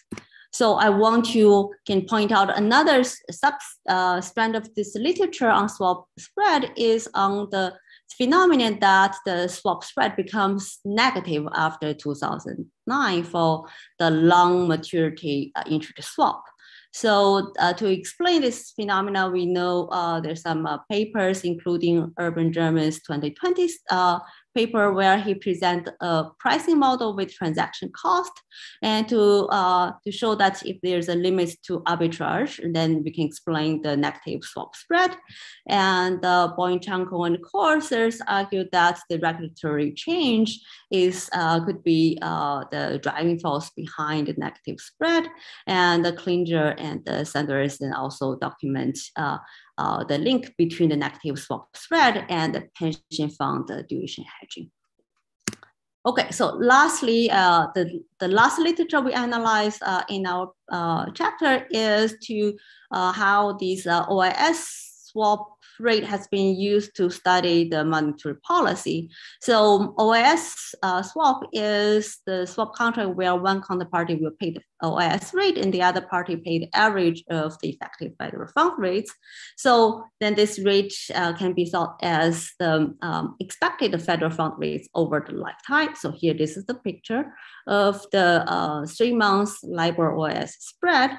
So um, so therefore, following uh, uh, Kuttner's 2001 paper and uh, Raffaele and Courses paper. So actually OIS rate, changes in OIS rate also have been used in the literature to as a proxy for uh, surprises in the monetary policy. And so uh, in the literature, uh, like Woodford have looked at US, uh, Canada, and Sweden. Uh, Joss and Courser look at the England, uh, Bank of England and uh, Abesa and uh, Linzer look at uh, ECB. Uh, so these papers have all used the changes in OIS uh, rate to study uh, the effective of monetary policy. And, and another paper that um, uh, Altavilla 2019 and Courser 2019 paper construct a, a, data set that includes also OIS to measure the monetary policy changes. Okay, so then lastly, so the, those are the three strands of literature that we review in the chapter. And looking forward, we think uh, so uh, the future research we probably we need to more uh, to understand the use of interest swaps and the general equilibrium effect of these swap usage. Uh, because uh, just based on my paper with Urban with, uh, and related quantitative works, it looks like we need some other theory to explain, uh, to understand the impact on the macroeconomy. And another interesting uh, uh, future uh, avenue of research we think are uh, to link the dynamics of swap spread with the regulatory changes. Okay, thank you, that's all. Okay, thank you very much. And the discussant will be Saleem Bahaj. No, actually, it's going to be me, Ricardo. Ricardo. It's fine. sorry, the discussant will be Ricardo. Sorry, Saleem is working tomorrow, so you guys are stuck with me for this. Um, he'll be presenting our paper. Oops. Good. Okay. Well, pleasure to discuss this. Um, I thought it would be more useful than well. Um, I think the most useful thing for the editors would be if I provide a referee report, but I decided not to be all that useful to them, so I already gave my comments and referee report to the authors, and instead I thought I'd use the ten minutes to be more useful instead to the audience, insofar as thinking of what are some of the um, important questions that I think remain in this area after you've read the very thorough uh, chapter. Um, the chapter, as with many of the chapters in this conference, describes quite thoroughly and accurately how interest rate swaps work, the mechanics of the contracts, and surveys and um, yeah, surveys some of the literature on some of the questions that it has asked. I thought this chapter ends there a little bit beyond the the last slide that Vivian showed on some open questions. I thought my most useful contribution would be to expand on her last slide and tell you a bunch of more, I think, interesting open questions on which these data or just generally interest rate swaps would motivate. So I'm going to use my nine minutes in with five questions that I think are open, important challenges for some of the researchers in the literature. First, there's a striking graph on the increase in the size of the interest rate swap market. Um, the market has increased volume this is in terms of notionals. You could also look in terms of trading volume of them very related of course in terms of swaps since they're over the counter. But uh, an important open question is why don't i see more of a relation between this and the underlying fundamental? What do i mean by this? Between 2012 17 arguably plus minus a year i think what can arguably say that interest rate uncertainty up to one or even two year horizon was incredibly low in the United States. We had forward guidance um, and a fairly committed central bank on forward guidance. Therefore, the desire to trade interest rate risk, which we think is in part driven by different beliefs about whether interest rates will move or not, should have been historically quite low, at least relative to the usual. And yet, it is hard to see, certainly in a figure like this, whether there's any particular change in the volume of notional interest rate swaps.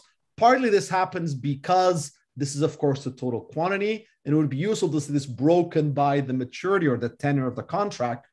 But it would be quite interesting, if not even downright puzzling, to see a gigantic enorm of notional three month or one year interest rate swaps during a period where the interest rate was incredibly flat and with little uncertainty around it.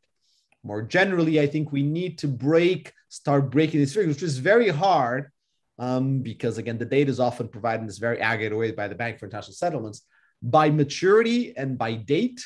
So I don't think Vivian can do this for the paper. and that's why I leave it as challenge for future research. But for us to understand this beyond noting, well, there was no market, now there was a market. This is a market in which we had dramatic regime changes in across time in the last 20 years in the volatility under the underlying fundamental of this derivative. And as a result, we should see something about the size of the market and those fundamentals. Apologies. Second important question Vivian and Bay note very clearly in the paper the conventional and correct story that we think of pension funds holding a lot of uh, risk insofar as they have promises in the very long run that they need to satisfy. And given their investments with potentially risky returns, will want to engage in swaps in order to match volatility, in order to match uh, liabilities and assets in terms of the, their promised payments. And likewise with banks, insofar as we think about them as borrowing short and investing long creates, again, a very clear desire to fix some interest rate payments in terms of the corporate bonds that they issue to supplement the uh, deposits they issue. Those two are classic cases, which are very well explained in the chapter, but they leave one still wondering who's holding interest rate risk once one, compl- once one combines, um, uh, once one looks at the market as a whole it's still quite striking how we have very incomplete data to understand who's long and who's short, if you want, who's holding interest rate risk, because ultimately, interest rate risk is a nagged risk, not an idiosyncratic risk. It doesn't get diversified away in some pool. For someone to sell it, someone has to hold it. And as a result, after the distribution of these interest rate swaps, where does the risk end up in the last place? I am particularly influenced here by a paper which really opened my eyes or changed my view. There's only a few of those every so often that I saw many years ago uh, by Julian Begenau, Monika Piazzesi, and Martin Schneider that showed that if you consolidate banks' balance sheets with their interest rate exposure, you may end up with, depending on the bank you look at, completely backwards view on whether banks, on whether an increase in interest rates is a negative or a positive to banks and an expected increase in interest rates uh, in terms of net income it actually depends, it can completely revert relative to our conventional wisdom is of what banks are. This work is really, in my view, desperately needed. And for that, we need balance sheet data because at this point, from a, both a policy or a theory perspective, precisely because of the large volume in the swap market, it has become very unclear who's holding uh, who's holding the interest rate risk. That is, if the Fed or the ECB were to suddenly hike up interest rates, who would actually be the winners and the losers um, in these markets. Uh, that is a work that I think is sorely missing in this literature and which is both important from a policy perspective as well as an economic perspective, both just within this market and especially as in the work of Begenau, Piazzesi, and Schneider, integrated with other positions in the balance sheet. Third, and related, uh, there's been an exciting work. I think I forget now who it was. I think it was David a little while ago that uh, very flattering and adequately described the work of my colleague uh, Dimitri Vayanos on preferred habitats and how influential that has been on our understanding of bond markets and the effects of quantitative easing. But note, if, well, but note, and note, let me argue it's even more interesting and influential. If we think that preferred habitats, the stories in, in Dimitri's work, uh, with by now series of different co-authors across different papers, are important, then they should reflect themselves not just in who's holding treasury different securities, but also on the positions that those different agents want to take in the interest rate in the swaps market. That is, the swaps data provides precisely the over identifying restrictions, if one wants, with which to test the preferred habitats model. It provides us precisely with a confirmation of whether it is habitats or something else that are driving the seeming arbitrage opportunities across different maturities. Do we see in the swaps data what we observe there? And I think combine the swaps data with the holding, the holding of swaps with the holding of bonds in a structural empirical model that matches both positions on bonds and swaps would be absolutely the next step on this literature. If we're all going to embrace that the mechanism of QE um, is because of desires to hold interest rate risk at different maturities or horizons, translating itself into certain bond positions, then boy, here we have a great test. Let's look at the swaps data. Do we see those same guys taking those positions or not? And I think that would be potentially extremely important. Fourth, who should hold this risk? I told you, let's measure who holds the risk. Does who hold it allow us to test it? But from a perspective of uh, theory, who should hold interest rate risk? It's an aggregate risk. Now, a simple perspective is whomever is the person uh, that is least risk averse should hold all of the risk. That's a clear theoretical prediction, um, or should hold at least most of the risk. I'm sorry, not all the risk, unless there's someone risk neutral. But secondly, on account of their natural um, fundamentals of their activity, firms, banks, pension funds, households, who is the natural holder of interest rate risk in the economy? Or is the natural holder of risk the taxpayer via the government? There's actually very little work on the theory of asking this somewhat fundamental question. There is an aggregate risk in the economy. Who is the natural buyer and who's the natural seller of that? Again, we have some, I think, fairly rudimentary intuitions about banks and pension funds, which I've already described. It would be good to develop the theory of who actually should hold this risk and then contrast that with what we observe in the swaps data and map that especially to the movements in the swap rates reflecting supply and demand that Vivian says we should. Finally, fifth in my minus 30 seconds, um, are those, um, are the companies, sorry, investors that are swapping out interest rate risk, are they also swapping at the same time out in or neither inflation risk? The next paper is going to be about how we trade inflation options. That market is not as big as the um, as the interest rate swaps and options market, but it is grown quite considerably. And the eight the same players in the interest rate market are some of the same that are in the inflation risk market, a market that I've also written by now a few papers on. Um, if we had data on joint positions, and again, some theory on whether do you want to hold, uh, who should hold the risk separated by real interest rate risk versus inflation risk, that would go to uh, fundamental questions um, in economics as well as in policymaking. And I think hope I hope that in combine that data, that would be a next uh, step in this agenda. So thank you. This is a great paper by Vivian. I thought I think these are some of the challenges that will come after um, and that are important in this literature. I'll stop there. Thank you, Ricardo, for a great discussion. Uh, Angelo has a question. Hi, Vivian. Thank you very much for uh, this interesting paper. Um, I skimmed over your paper. I haven't seen really a discussion about the XVA, the valuation adjustment. And to my understanding, this is really important nowadays in, in pricing interest rate swap. And second, also now in many jurisdictions and for many um, financial firms, it's mandatory central clearing, right?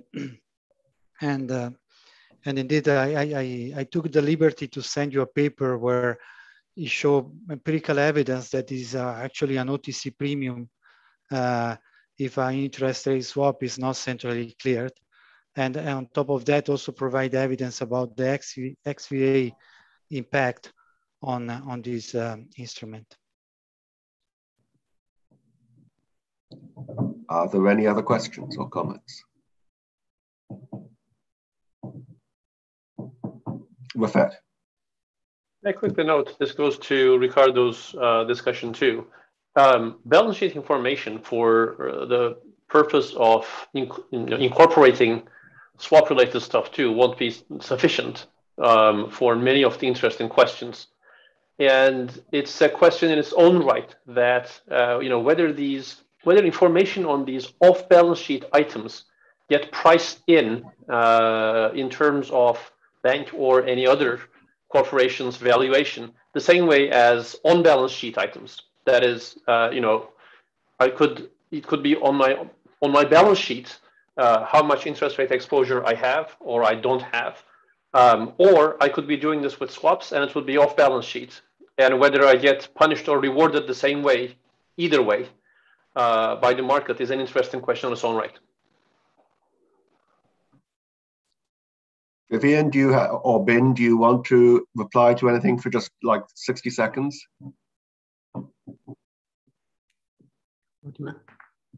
Yeah, no, uh, thank you, Rosh. Uh, first, uh, Angelos, uh, uh, I got, I just got your uh, paper, uh, the paper you sent to me. I will read it carefully, and I really appreciate your comment. Uh, so we, when we revise the paper, we should also discuss uh, the dimension. And I want to thank Ricardo for uh, a very insightful discussion. Uh, so all the five directions of the future research are really spot on. So you know, we scratch our head a little bit. we can we think about what comes next. We because also we want to do more future research on in this uh, topic. We appreciate your uh, suggestion. Ben? No, I don't have Yeah. Okay. All right. That's all. Thank you. Uh, thank you very much. So Ricardo actually provided a nice segue into the next uh, chapter, which is on inflation hedging products. And I think Stefani is going to present. So we can see you hear slides. me? And can you Yep, see we hear screen? you and we see your slides. Yep. Okay, perfect. So this is a chapter um, that I wrote jointly with uh, Thomas King. And um, the usual disclaimer apply because we both work at the Chicago Fed. And in particular, this discussion is not going to contain any information about current and future monetary policy. Um, I'm very grateful to Refet and Jonathan for give us the opportunity to participate in the handbook. And uh, it's so great to see all of you. Okay, so I'm just gonna give you a brief overview of what is going to be in the chapter. So we try to address a simple question. So what is the efficacy and cost of simple uh, inflation hedging strategy, strategies in the UN financial market, okay? And our premise is that, that there is no one size fits all edge uh, because different investors may have different inflation hedging objectives. So uh, as a consequence, we try to relate each asset inflation hedging ability re- to multiple inflation measures. So we will focus on the CPI, its component, PC, PPI, wage inflation, and, and for many of these measures, we will look at headlining core, okay? So another important premise is that uh, we think that um, you know we have a simple framework to try to motivate organize our idea, and we show that for each investor type, the inflation risk originate from the gap between asset and liability inflation rates. Okay, so we try to focus at the very end on the on strategy that perform well against both type of inflation in a balance sheet. So more importantly, we also show uh, by reviewing the literature how uh, the empirical evidence, how the inflation risk has changed over time, has been evolving from inflation risk to dis disinflation risk. And of course, this has affected the relative attractiveness of the different inflation hedging instruments, in particular nominal bonds. And, uh, and so overall, it shows that their inflation hedging ability depends on a composite growth inflation regime, okay? And all of this is reflected in the cost of the inflation edge, which is the inflation risk premium. And so we see that this one also has been varying in size and sign over time. So we consider, we try to consider a wide range of assets, okay? And in particular, we start with the, what the literature called the real assets. So these are assets whose values is more directly linked to physical assets. So we have equity, commodity, real estate, and so, for example, for equity, we, con, we consider the usual broad indices, but also their subsector and the Fama-French factors. And for uh, commodity commodities, we also consider the broad commodity index like uh, the Goldman Sachs Commodity Index and the Bloomberg Commodity Index, and also oil spot and future prices, and natural gas, precious metals like gold and silver, and key agricultural goods. And for real estate, we're gonna consider the Case-Shiller Price Index and the Wilshire REIT Index. Then we will go to real bonds. And since we're focusing on the US, we just consider Treasury Inflation Protected Security or TIPS. Then we also go to currency and the rationale for considering currency is the purchasing power parity. So when the US inflation goes up, the purchasing power of the dollar decline and therefore the foreign currency appreciates. Another rationale is uh, to focus on currency of emerging markets that are commodity exporter. And so in this case, uh, when the prices of the major commodity they export goes up, the currency appreciates. So for example, this year, the Russian ruble, South African rand, and Brazilian real have been doing very well because the commodity export, uh, the price of commodity export has been going up. And then we consider nominal bonds, in particular, we focus on treasury security with maturity from one month to 30 year. And we will consider both rolling returns and all-in period returns from one month to 30 years.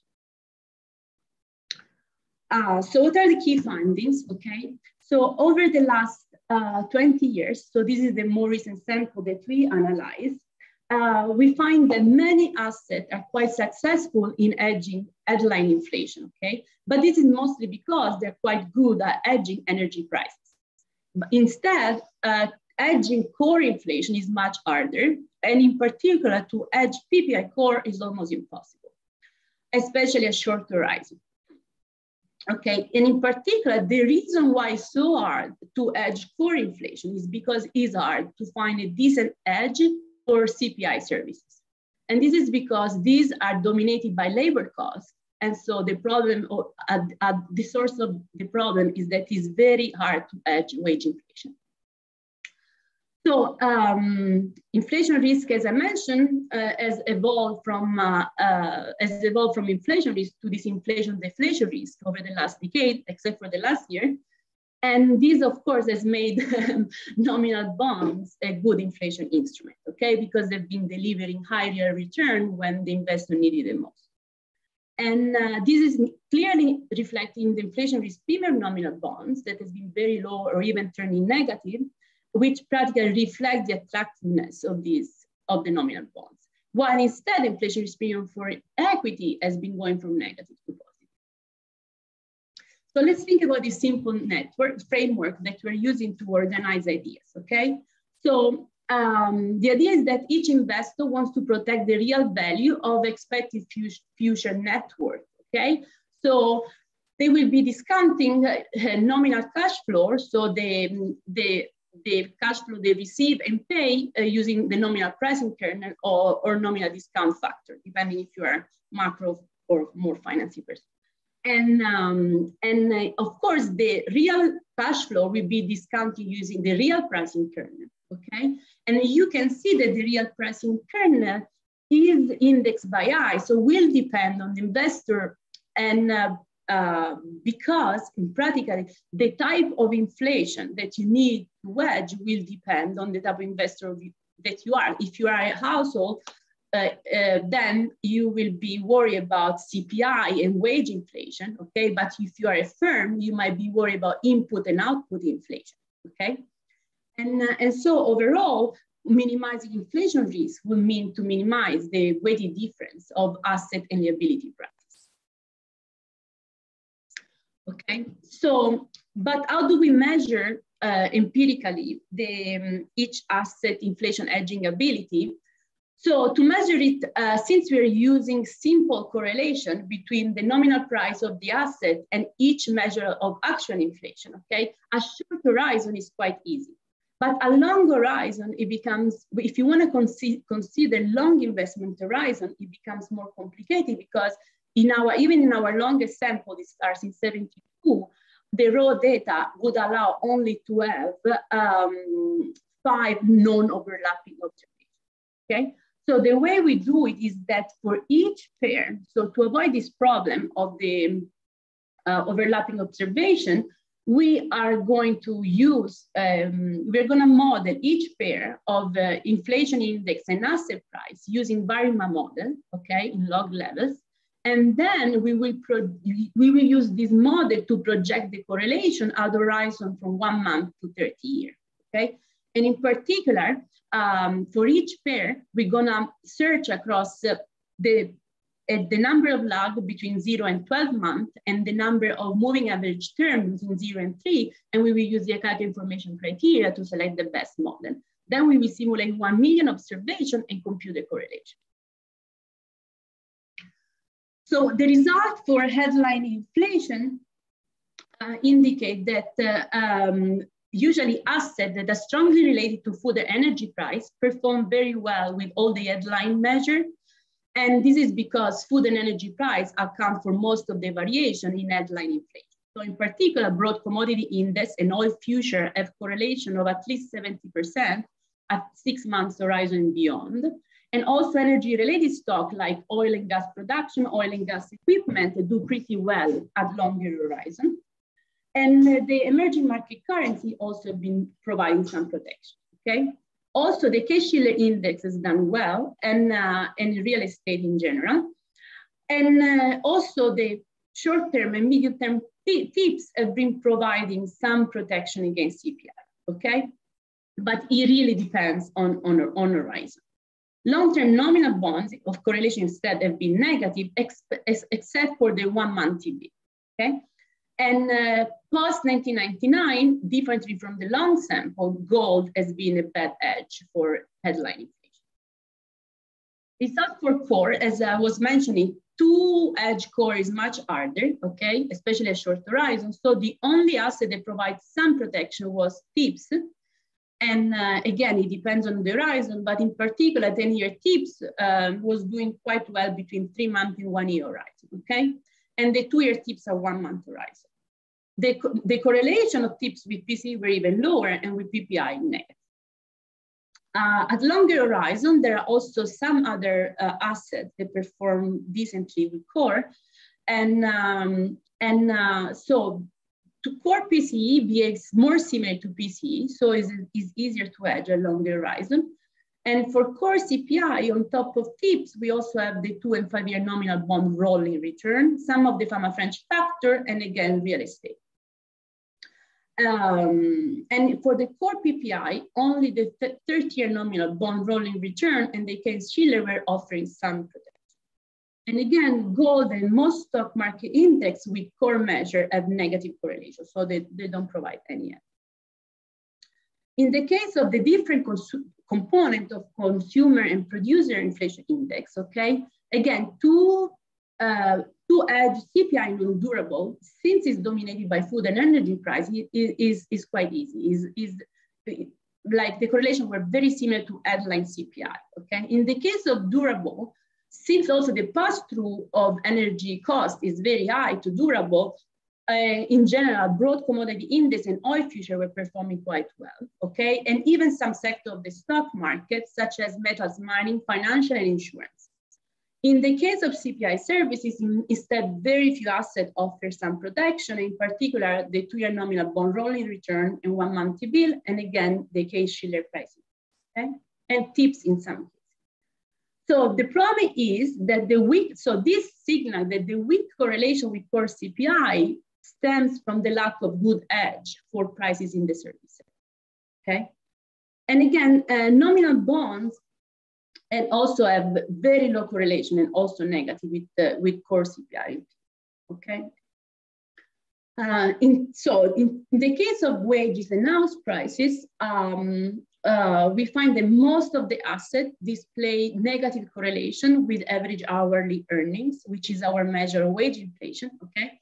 And the only exception were very short-term nominal treasury security, like the one-month bill and two-year nominal bonds, and also uh, only the 10-year nominal bonds if held to maturity, okay? And also tips could provide some protection, okay? So again, one possible reason for why it is hard to, to hedge core inflation and CPI service, service inflation is precisely the fact that it's very hard to hedge labor costs. Um, so in the case of house prices, instead, like many assets perform quite well. And in particular, um, most component of the stock market, Fama French factor and commodity and some currency were working well. So what are the implications for, if we think in the, in the setup of the simple framework that we presented, well, in the case of also balance sheet, then what would work well because would be able to hedge both headline CPI and average our earning return, meaning the, the asset and liability inflation would be short-term nominal treasury security and the Case-Shiller price index. Okay?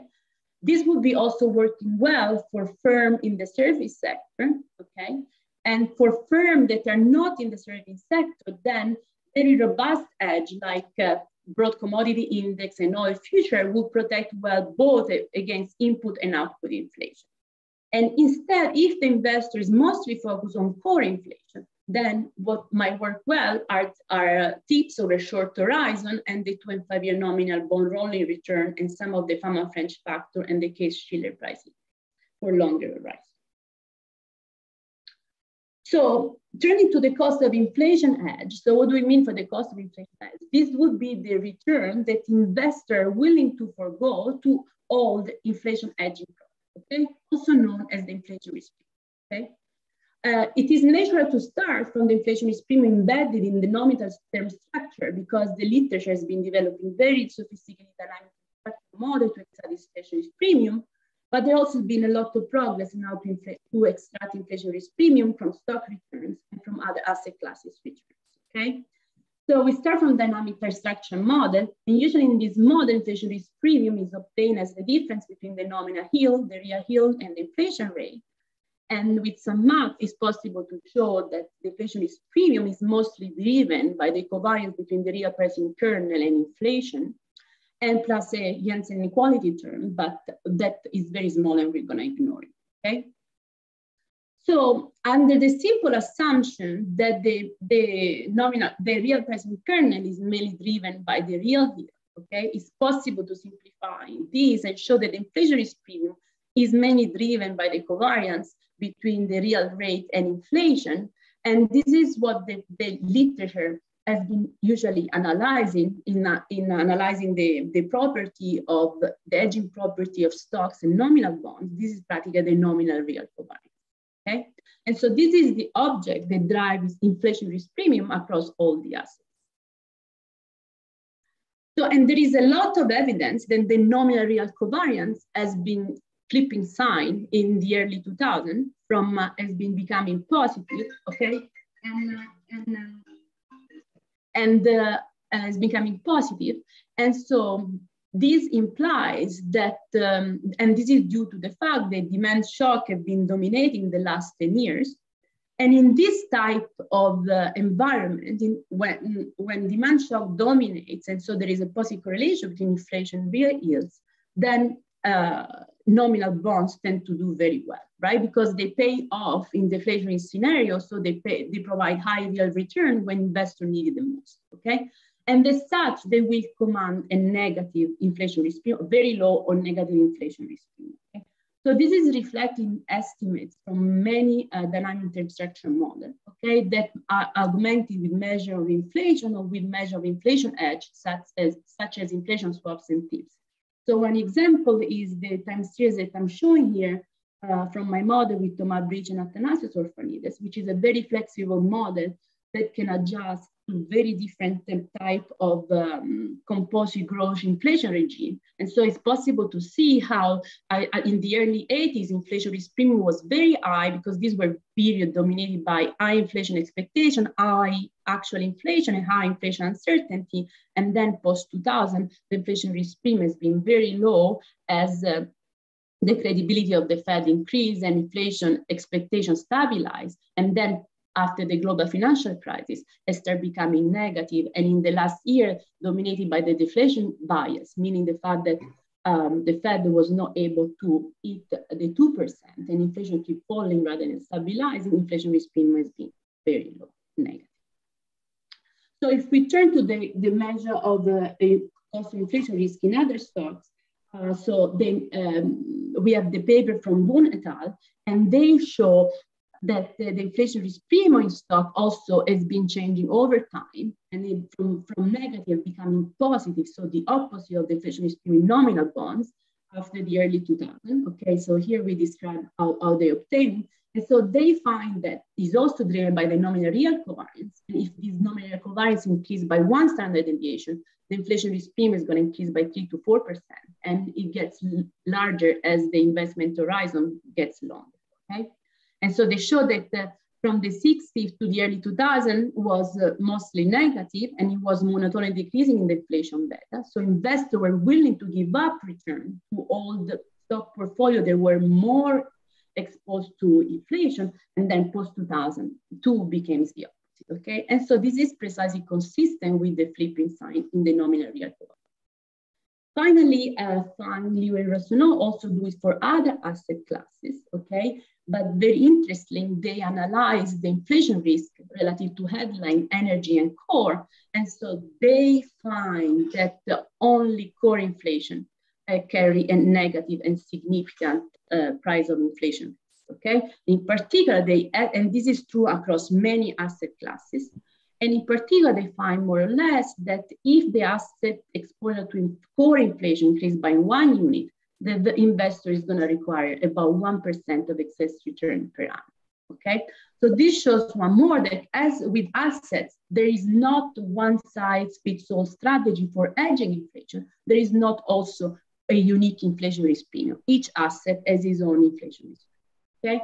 So in general, what this tells us about future research? Well, it seems that it would be interesting if uh, research evolves towards analyzing inflation hedging across different dimensions, different as measure, different assets for different investors, and uh, import also across different investment horizon, and also um, some of the point that Ricardo raised about who should be the natural holder of inflation risk, uh, then also would be interesting to think about if the government and therefore taxpayers should be the natural holder of inflation risk through TIPS, or uh, if um, private investors to inflation derivatives should hold inflation risk. This is especially in light of the fact that over the last year, the market for inflation derivative has been drying up a lot. Thank you very much, Stefan. Uh, and the discussant will be Shane Sherlund. All right, Jonathan, can you hear me okay? I can hear you, yep. Okay, let me share my screen super quick. All right, so uh, I'm Shane Sherlund. I work at the Federal Reserve Board. So as such, I, I need to give the this, this disclaimer.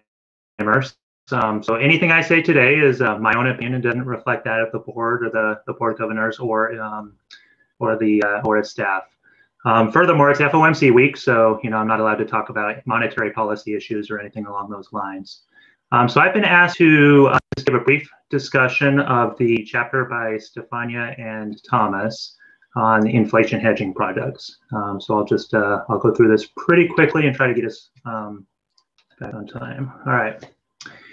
Uh, so this paper was really, really cool. Um, you know, you turn on the news nowadays, you hear all kinds of, of interesting things. Um, one of the things that comes up lately has been inflation. Um, so I think this chapter is actually very topical. Um, and in particular, the chapter um, discusses optimal inflation hedges, um, you know, kind of how to think about it. It's not something I've thought about a lot in the past. so I actually found the chapter very good. It was well written. I learned a lot. and I just, I, I just thought it was a really nice piece. Um, so in the end, what I learned is that optimal inflation hedging depends on the type of price exposure that a, um, you know a consumer or a firm or a or an investor has, um, the time horizon over which you're trying to hedge um, price changes, um, and then it, there's also a lot of sensitivity, um, you know, on the performance of a of a particular hedge. across time. So it just depends on the nature of demand shocks and, and stuff like that on, on what's actually causing the type of inflation. Um, so one interesting aspect is so if you think about a consumer, a firm, or an investor, is you know all of these things have incomes and expenses and assets and liabilities. Um, and the CPI and PPI really only measure one part of that. It's it's not this all-encompassing you know price measure. Um, so when we think about the CPI or PPI, it's it's it's it's just a part of the equation. Um, so if you think about, you know, a household or something like that, you know, they also face um, wage um, deflation risks. Um, you know, you have price changes on assets and liabilities. Um, you have nominal debt contracts. You have all this stuff that, that kind of interacts um, in ways that are not completely captured by the CPI and PPI. So jumping kind of into the, the paper, so the, you know, the, the literature in the paper, the, the paper did a lot of empirical work, which I thought was really nice. Um, and it, it, largely confirms what the, what the literature shows. Um, so basically commodities hedge headline inflation fairly well. Um, a lot of that is just driven by the high correlation with energy prices. Um, and as a result of that, you know, other energy related assets um, also serve as, as relatively good hedges for inflation risk. Uh, core inflation turns out to be a little bit more difficult to hedge. Um, of course, tips um, and real estate do fairly well over long periods of time, uh, but in the very, very near term, we're you know thinking of time periods of a year or less. Um, it, it, it's really hard to to um, to hedge core inflation. Um, now that core inflation doesn't really jump around that much in the short term, but um, you know if you're trying to, to hedge that that type of risk, it's hard to do. Um, and then the paper shows that um, in terms of producer prices and wages, those are actually the most difficult parts of the inflation puzzle to hedge, um, although real estate provides some some protection there. Uh, so several other facts that uh, that I found interesting in the paper. Um, so since the financial crisis, um, disinflation risk has dominated inflation inflation risk. Um, so Stefania showed that by showing that the inflation risk premium had had moved negative, um, and that's that's basically been since the financial crisis. Um, prior to that, it was actually quite positive and, and very substantially positive. Um, you know, and that just kind of, I, I, think it just points to the market's perceptions of whether it's an inflationary risk or a deflationary risk. Um, and I think the, the paper did a good job of, of spelling that out. Now, one fact I didn't know, and I found this really cool, is that precious, precious metals um, serve as a, you know, it's kind of the, the conventional wisdom that precious, precious metals provide a decent hedge to inflation. Um, you know, if you look at the, the data um, since 1972, that turns out to be true. Uh, but if you look at data from 1999 on, it actually turns out not to be a very effective hedge against inflation. Um, so that we're thinking about things like gold and silver. Um, so you know, some of us might want to think about how we how we do our portfolios. Um, so I had basically three questions and comments that I just kind of wanted to bring up. Um, you know, I think some of this will ultimately be up to the editors to decide, but it's, it's just kind of things to think about. Um, so as I read through the chapter, one of the things I was really thinking about is I, I found it surprising that there wasn't really a, like a, a, futures market or a financial instrument that kind of did this already. Um, so if you think about headline inflation risk, you have TIPS securities. Um, but if you're thinking about like the PPI or something like that, um, you know, a gap between the CPI and the PPI, things like this, um, there's not really this explicit thing that you just go out and buy. You have to construct like a portfolio. Um, you know, you can use stocks, energy related shocks, currencies, you know, but you, you've got to construct it. Um, and that might be because of the idiosyncratic nature of inflation risk that, you know, firms, households, and, um, and uh, investors face. Uh, but that's that's one thing that I was just kind of thinking about. You know, is, is you know is there a market for that, um, and you know how much how much is it kind of worth in a sense? Um, so that's that's kind of that's the second question is, um, you know, real estate kept, kept coming up as a, as a relatively good hedge against various types of inflation risk. Um, so I, I, do a lot in the in the mortgage and housing markets, and you know, there's this there's this house price futures um, market um, where you know it's based on the S&P Case-Shiller house price indexes, and there's this composite index, which basically you should just think of as the United States as a whole. Um, and then it's also got 10, you know, of the big metro areas, New York City, LA, um, places like that. Um, and what it is, is it's basically daily futures prices um, for quarter end index values on the S&P um, index.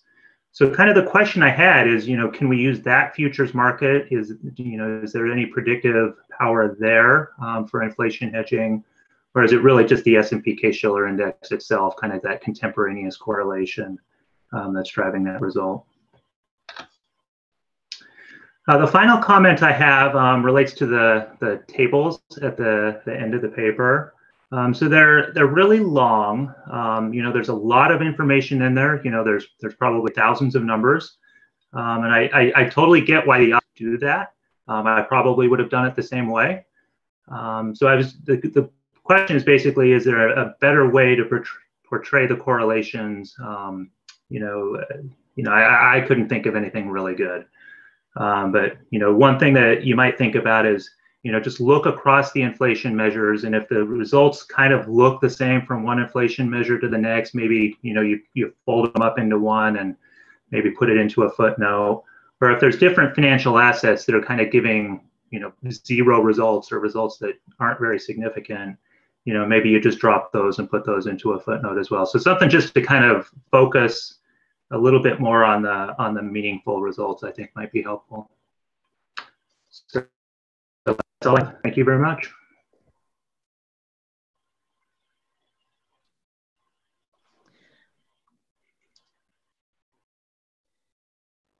Thank you so much for your comment. All well taken.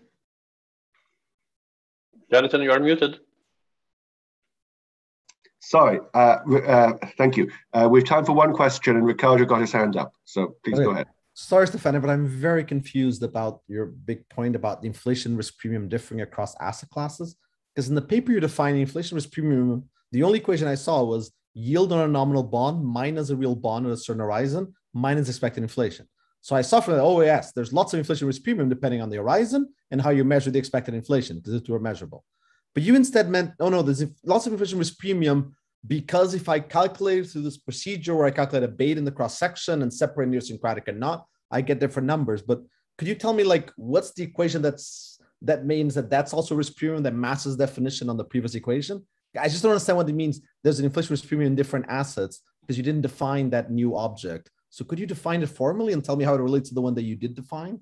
I'm just very confused. Apologies for having a confusing question. So, so the, the equation that I, I show is only for nominal bonds. So I, I, I, I What's I, the other one? I, I agree. I know that one. So what's the one for the other asset classes so I can link it to this one and see where they're different? No, I, I just de- de- describe how it empirically they derive it, but the concept is the, is How the same. The price something of... you haven't defined. First define it, and then you empirically measure it. But what's it defined to be? I just don't understand what it is. Just, sorry, I just don't know what it is. I mean, you, tell me how so, you measure, like, what is it? The, the quantity of risk is measured in the same way is is still the the the, um, the inflation beta of each asset so, so is their exposure to inflation so is the covariance between the return and inflation so that is the quantity of risk and then in the cross section by running cross section of individual stock return on their own inflation beta, which is the proxy of the quantity of risk, you can get the, the price of risk in okay. the stock returns. I, I think I think we should hold it here so as to keep things on time. Uh, so sorry, David. We, we, we can we can have continued questions by by chat, but we're already a little over, and I don't want to uh, go further over. So uh, the next chapter is on government agencies.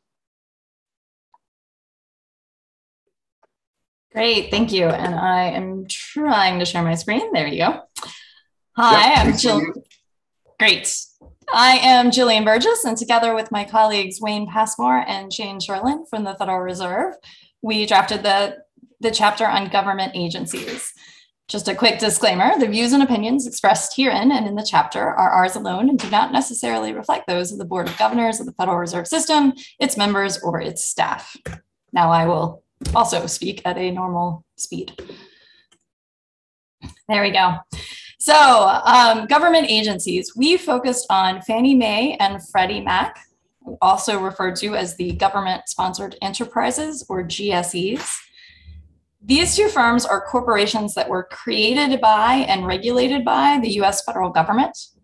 Both of them failed in 2008 and have been in government conservatorship ever since. The GSEs are often overlooked in studies of the mortgage market, even though they dominate the, the US mortgage market.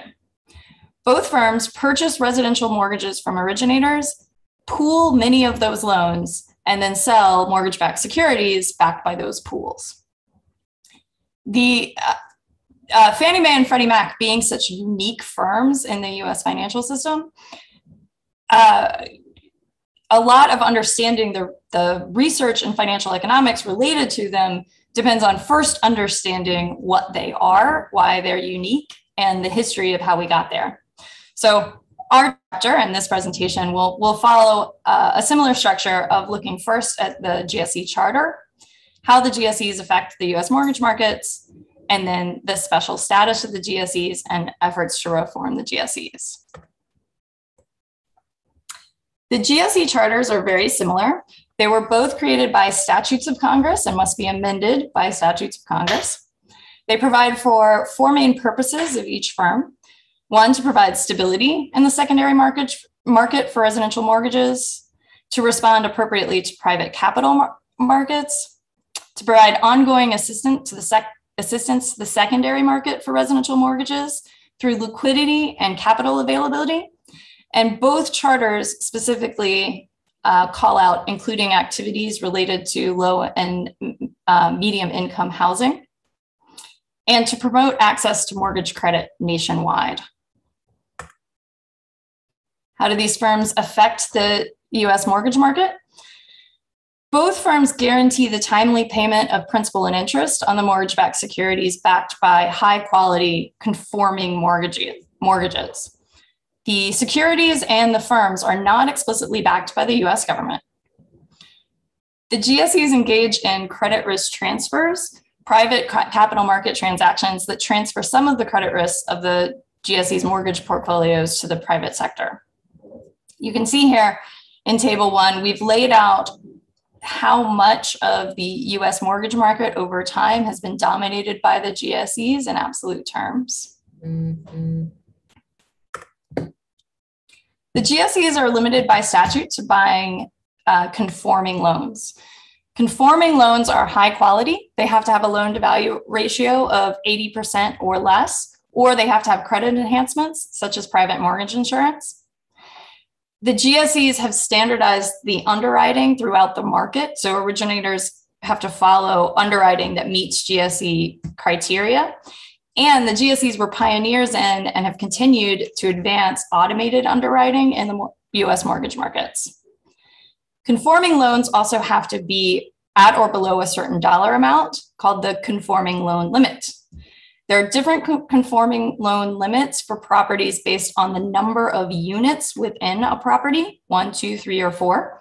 And the conforming loan limit can be higher based on the area of the country. So there's a baseline conforming loan limit that applies for most of the United States. And then in high cost areas, that limit can be up to 75% higher. Table two presents the conforming loan limits over time and estimates what we expect the conforming loan limit to be in uh, 2022 because you have a break in the market for conforming and non-conforming loans, this structure creates a natural experiment. And these the difference between um, mortgages below the conforming loan limit and conforming mortgages and the non-conforming mortgages or jumbo mortgages above the conforming loan limit has been used in a lot of the studies to estimate various aspects of the mortgage market. The GSEs also charge uh, fees for the guarantee that they provide on the mortgage-backed security. And prior to the financial crisis, crisis the, these G fees did not vary by credit risk. But since 2008, they have varied by credit risk, although the structure is probably flatter than the underlying credit risk profile of all the mortgages. Interestingly, since December of 2020, the GSEs have also been subject to capital requirements that vary by the cap by the credit risk of the underlying mortgages. So in table three, we show the example of Fannie Mae's loan level pricing adjustments. As you can see, they, they vary by the loan to value ratio of the underlying mortgage and the credit score of the borrower, with higher loan to value ratios and lower credit scores resulting in higher fees.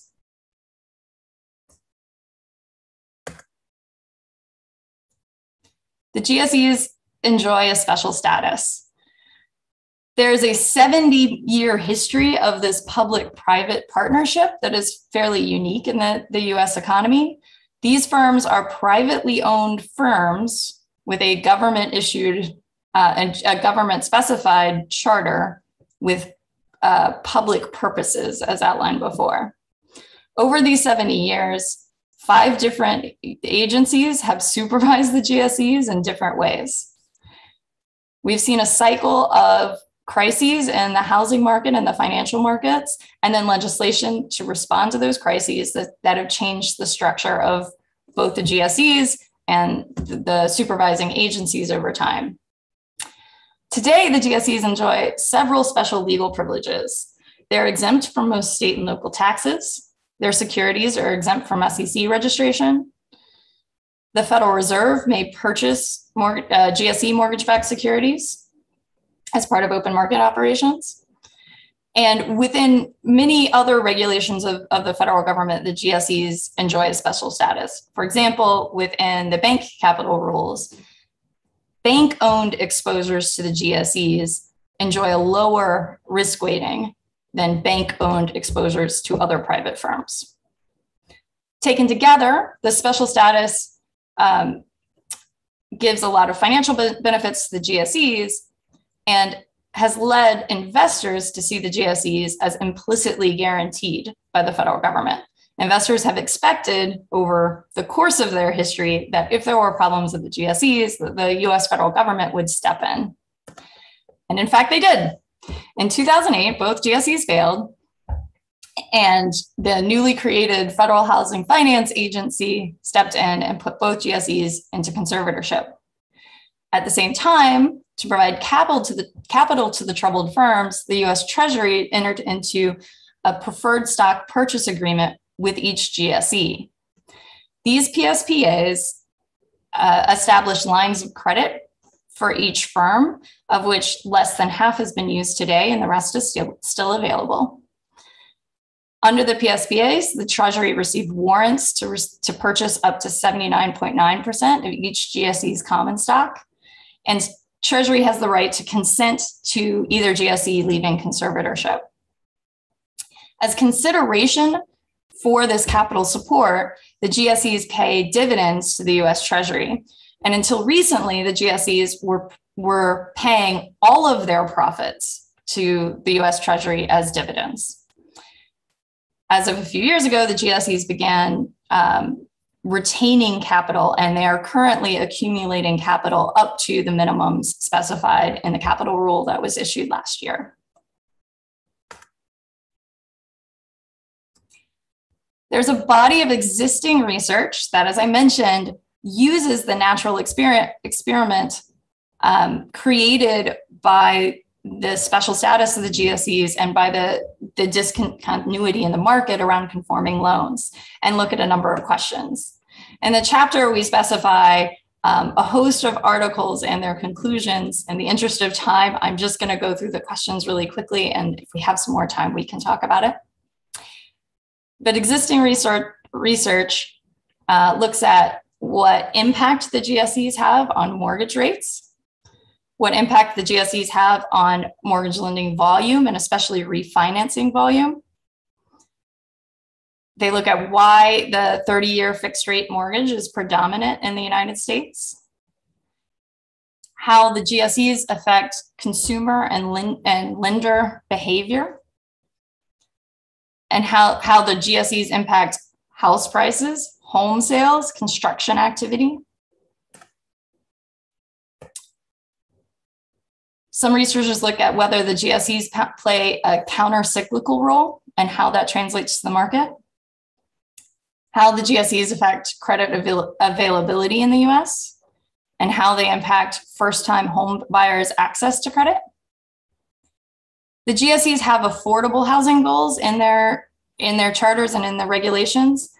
There's research looking at how effective those affordable housing go goals are at actually promoting affordable housing in the United States. And interestingly, existing research looks at who benefits and who has benefited historically from the implicit guarantee.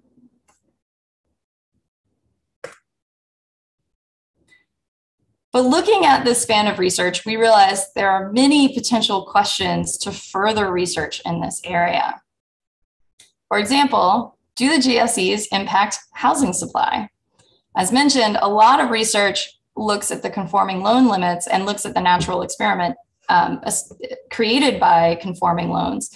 But most of that research focuses on single unit, single family residential. The GSEs also um, have policies to support multi-unit, two, three, and four unit in particular, sing, what's considered single family residential properties. Could the research that's that currently exists for single unit be extended to multi-unit? And could that area potentially um, contribute to the conversation about the housing crisis in US cities and inner suburbs? Another area to explore is what effect the G fees and the capital requirements um, that vary by credit risk have on housing finance in general. Does that translate through to mortgage rates, to housing credit availability, et cetera? Does the special legal status of the GSEs play a role in housing credit av availability? And if there are any particular aspects of that special le legal status that in particular impact housing credit availability. In the area of political economy, what is the impact of different regulatory regimes on the performance of the GSEs on, um, and on the wider financial and mortgage markets? Does the GSE standardization of underwriting or development of automated underwriting impact mortgage rates and housing credit availability? And interesting, it would be interesting to investigate whether these developments contributed to racial bias in mortgage rates or homeownership. And then finally, what role do GSE obligations play as safe assets as part of the money supply? This has been touched on in current research, but I, we think there's a lot more to be investigated there. Finally, GSE reform. This has been a hot topic for literally decades, but as the conservatorship um, drags on, it's it often uh, is a hot topic here in Washington, D.C. The current structure of the GSEs has been, as we've seen, is prone to moral hazard when it's outside of conservatorship. We identify here seven things, which I will skip over, that any GSE reform must, uh, any GSE reform proposals must face.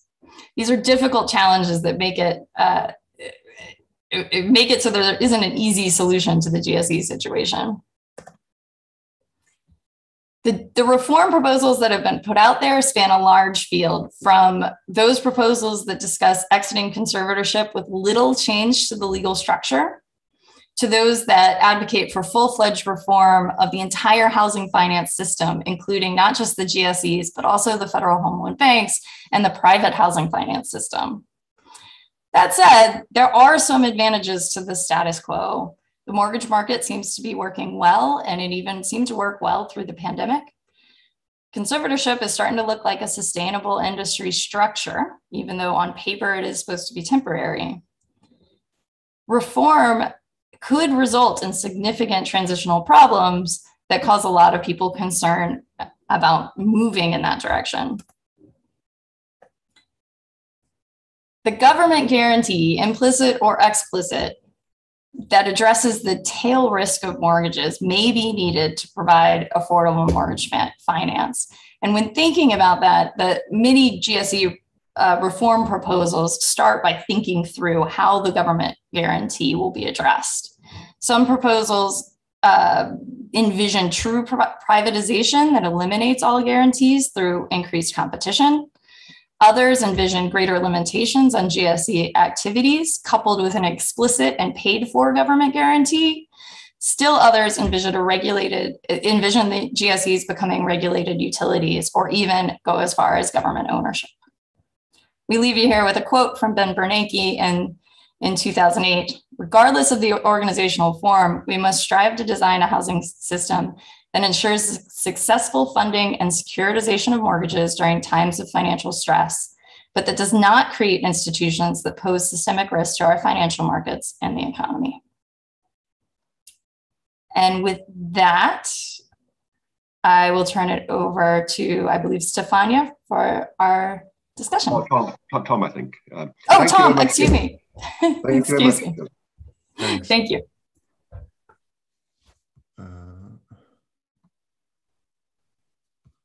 You have to stop sharing, Gillian, before Tom. Yeah, I'm just looking for the button. Got it.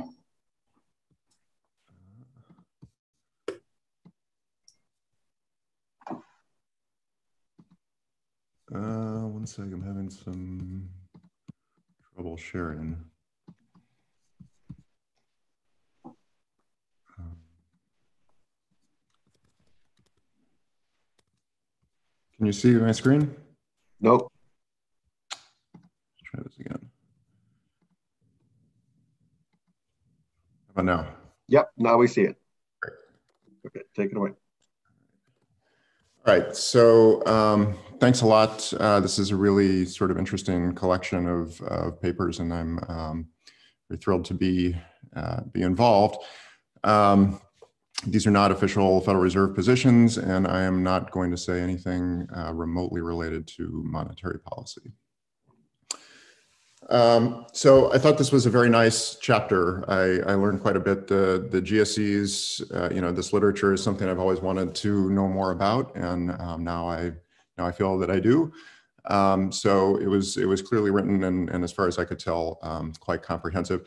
I, I, also really appreciated that the authors uh, followed directions and, and were very good about uh, pointing out places where future research would be um, possible or, or valuable. Uh, there were eight or 10 places in the paper where they, they had explicit um, suggestions along those lines. And, and that made me want to go out and, and write papers about GSEs. So I think that's, uh, that's a good thing. Um, so I, I won't, uh, you know, Gillian did, did a good job of, um, of summarizing her paper. I won't, I won't repeat that. I'll just make uh, a few comments um, along two lines. One, some more minor things about just where I, you know, a few places where I just wanted a little bit, a few more facts, just to some more detail uh, that I think the authors could probably include pretty easily. Um, and then I'll, I'll talk about a couple of bigger picture issues that may or may not be worth addressing in the paper.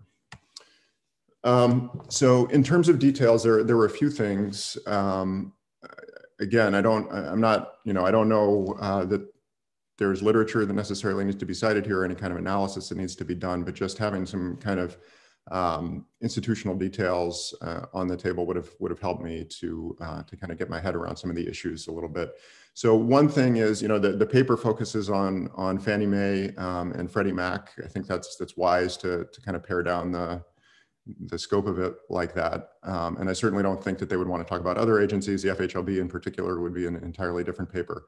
But, um, but it did seem like maybe there could be a little bit more information about Ginnie Mae because Ginnie Mae is doing something kind of similar to what Fannie Mae and Freddie Mac are doing, but it's a different market and they're structured a bit differently. And so, you know, maybe just a paragraph or two um, explaining why Fannie Mae and Freddie Mac are really the interesting uh, things to, to look at, that would have been helpful. Um, then when it came to, to Fannie and Freddie in particular, I think um, it really would have gone a long way to have just maybe a snapshot of the balance sheet or income statement or something like that. So there's some information about capital positions and, and general size and things. Um, I think on the balance sheet, obviously, you would see the the big elephant is the is the securitization piece, the pass through piece, that, and that's not really what I wanted to to focus on though, because I know there's other things going on there. They they retain um, some mortgages themselves. They have kind of interesting asset liability management problems, um, liquidity issues. Excuse me. Uh, they participate, for example, they sell um, Fed funds. We know, and so I kind of wanted to know, you know, are there liquidity risks there, um, either for the GSEs themselves or for the Fed funds market? Um, is there any kind of duration uh, mismatch I should be worried about, or credit risk in the in the retained portfolio?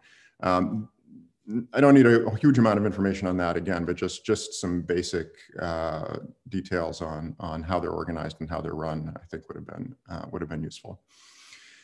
Um, the other things, so I mean, this is the the handbook on uh, on financial markets, and so it you know it, it, there's a couple of, of aspects of financial markets that actually would be I think uh, worth discussing.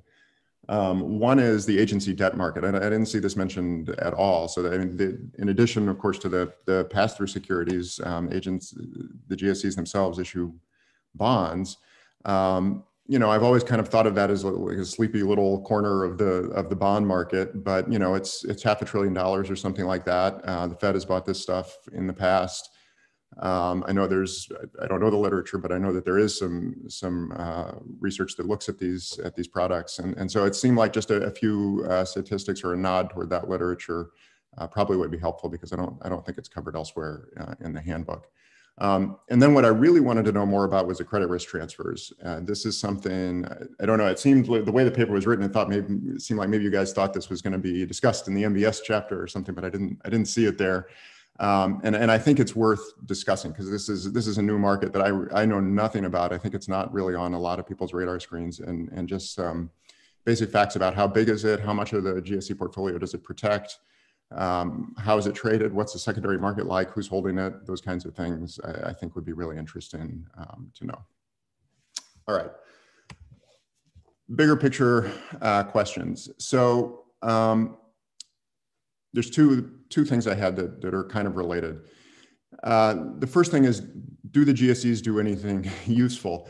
And I, so you can think about the costs and benefits of having GSEs. And I just want to take the costs off the table for a minute. Suppose there's no cost to running these GSEs. Is, you know, how big is the benefit? Is there a benefit? And I would have, you know, my prior going into this was, of course, there must be the, these guys, they have a huge footprint. There, there's all kinds of diversification and economies of scope, and they're introducing liquidity into these markets that, that might not otherwise exist. They get preferential regulatory treatment. They get this implicit uh, government guarantee. So there must be, you know, the big big rents here that they're passing on to to the mortgage market, and and, and presumably that's that's facilitating uh, credit and um, and hopefully promoting housing. And maybe that's maybe that's the case, but it, that message certainly did not did not come across to me in the way that the authors just described the literature. And I think I don't know if I just if I read it wrong or this was really the the message they intended to send. Um, but it seemed like most of this, most of the places where they talked about the effects of the GSEs on the markets, the evidence is kind of lukewarm. Well, there's some studies where it lowers mortgage rates, but you know that's that's not really a very ringing endorsement. Um, they, there's a lot, a number of papers, as Gillian mentioned, that sort of use the the conforming uh, loan limit as a as a, a discontinuity, but it seems like that there's no clear uh, break at that at that limit, and it might once you control for other stuff even go in the wrong direction. Um, there's some evidence that you know things work on maybe house prices, but not home ownership.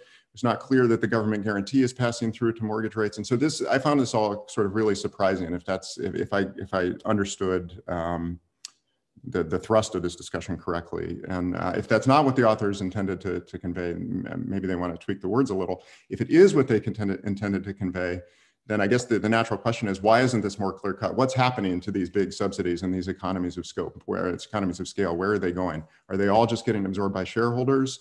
Or are the GSEs just so like corrupt and inefficiently run that you know it's all just getting kind of lost in the in the bureaucracy? Uh, both of those obviously are not the intent of of the Congress had when they founded the GSEs. So I think um, talking about that a little bit would have would have been interesting. Um, and then the second thing, I don't know whether this belongs at the end when they talk about GSE reform or if it belongs at the beginning when they're talking about um, kind of motivating GSEs. But but a question that comes up is, uh, you know, there's a lot of uh, a lot of space in the paper devoted to talking about uh, proposals for reform and how should what's the optimal GSE structure. Um, but I think you know once you're kind of erase the board and, and think about how you want to do this, you have to ask the question of whether you need GSEs at all. What are they, you know, what are they really doing? And that's, um, you know, I know the people who work in this area probably have very strong views about the the um, the way to reform GSEs. I don't, I'm not knowledgeable about this, so I don't have a strong view. This is a genuine question. It's not a, it's not a rhetorical question.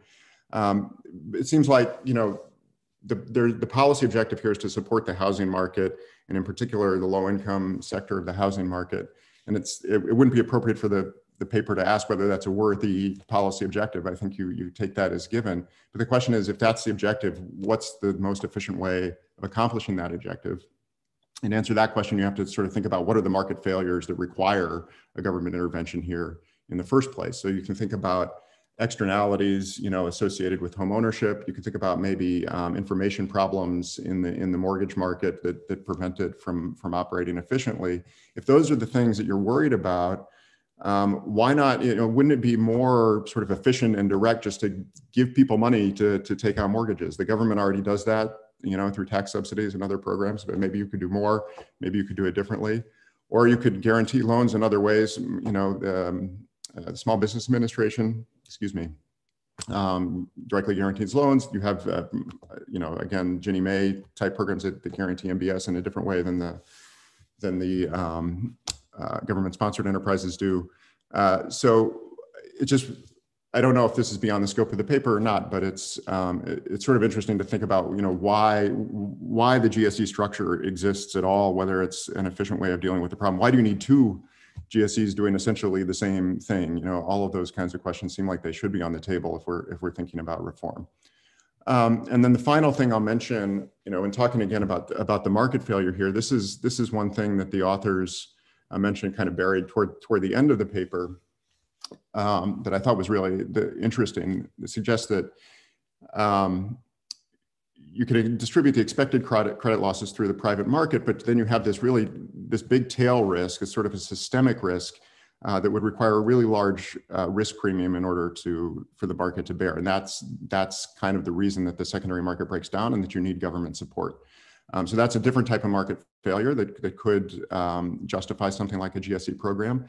But what's interesting about that, of course, is that if that's the if that's the failure you're worried about, you know, the solution to that is not to insure every single loss on every single mortgage. It's just to insure the tail risk, right? You don't you don't take out insurance against everyday losses. You only take out insurance against catastrophic losses. Um, and that's a much different sort of program uh, than, than the program the GSEs I think are, are, currently running. I'm not, I'm not exactly sure what it would look like to only insure tail risk, but it seems like it would be a much smaller and sort of differently run um, uh, program. Uh, so anyway, again, some of this stuff might be might be well beyond the scope of the paper, but I, it does seem like it's um, it's worth asking a little bit of these bigger picture uh, things. Um, that's all I had. Thank you. Thank you very much. Thank you. Thank you. We have time for a quick question.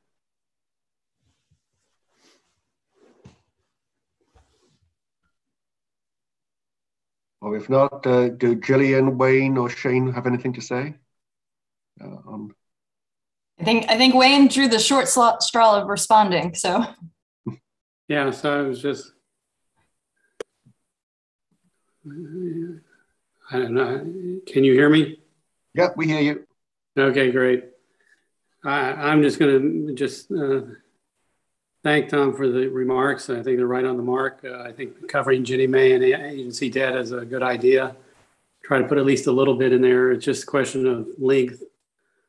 Uh, and then uh, the CRTs, we'll work it out with the uh, James and the other authors to make sure they do get covered. I think that's their intent to have more on them.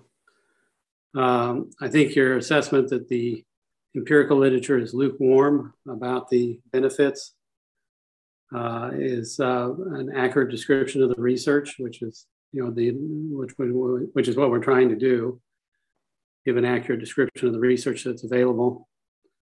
Um, and I think the question about uh, do we need GSEs is, I think we sort of view that as sort of outside the scope of the chapter. The chapter is to inform somebody about what exists, but um, you know, some of the research articles do actually uh, tackle that question.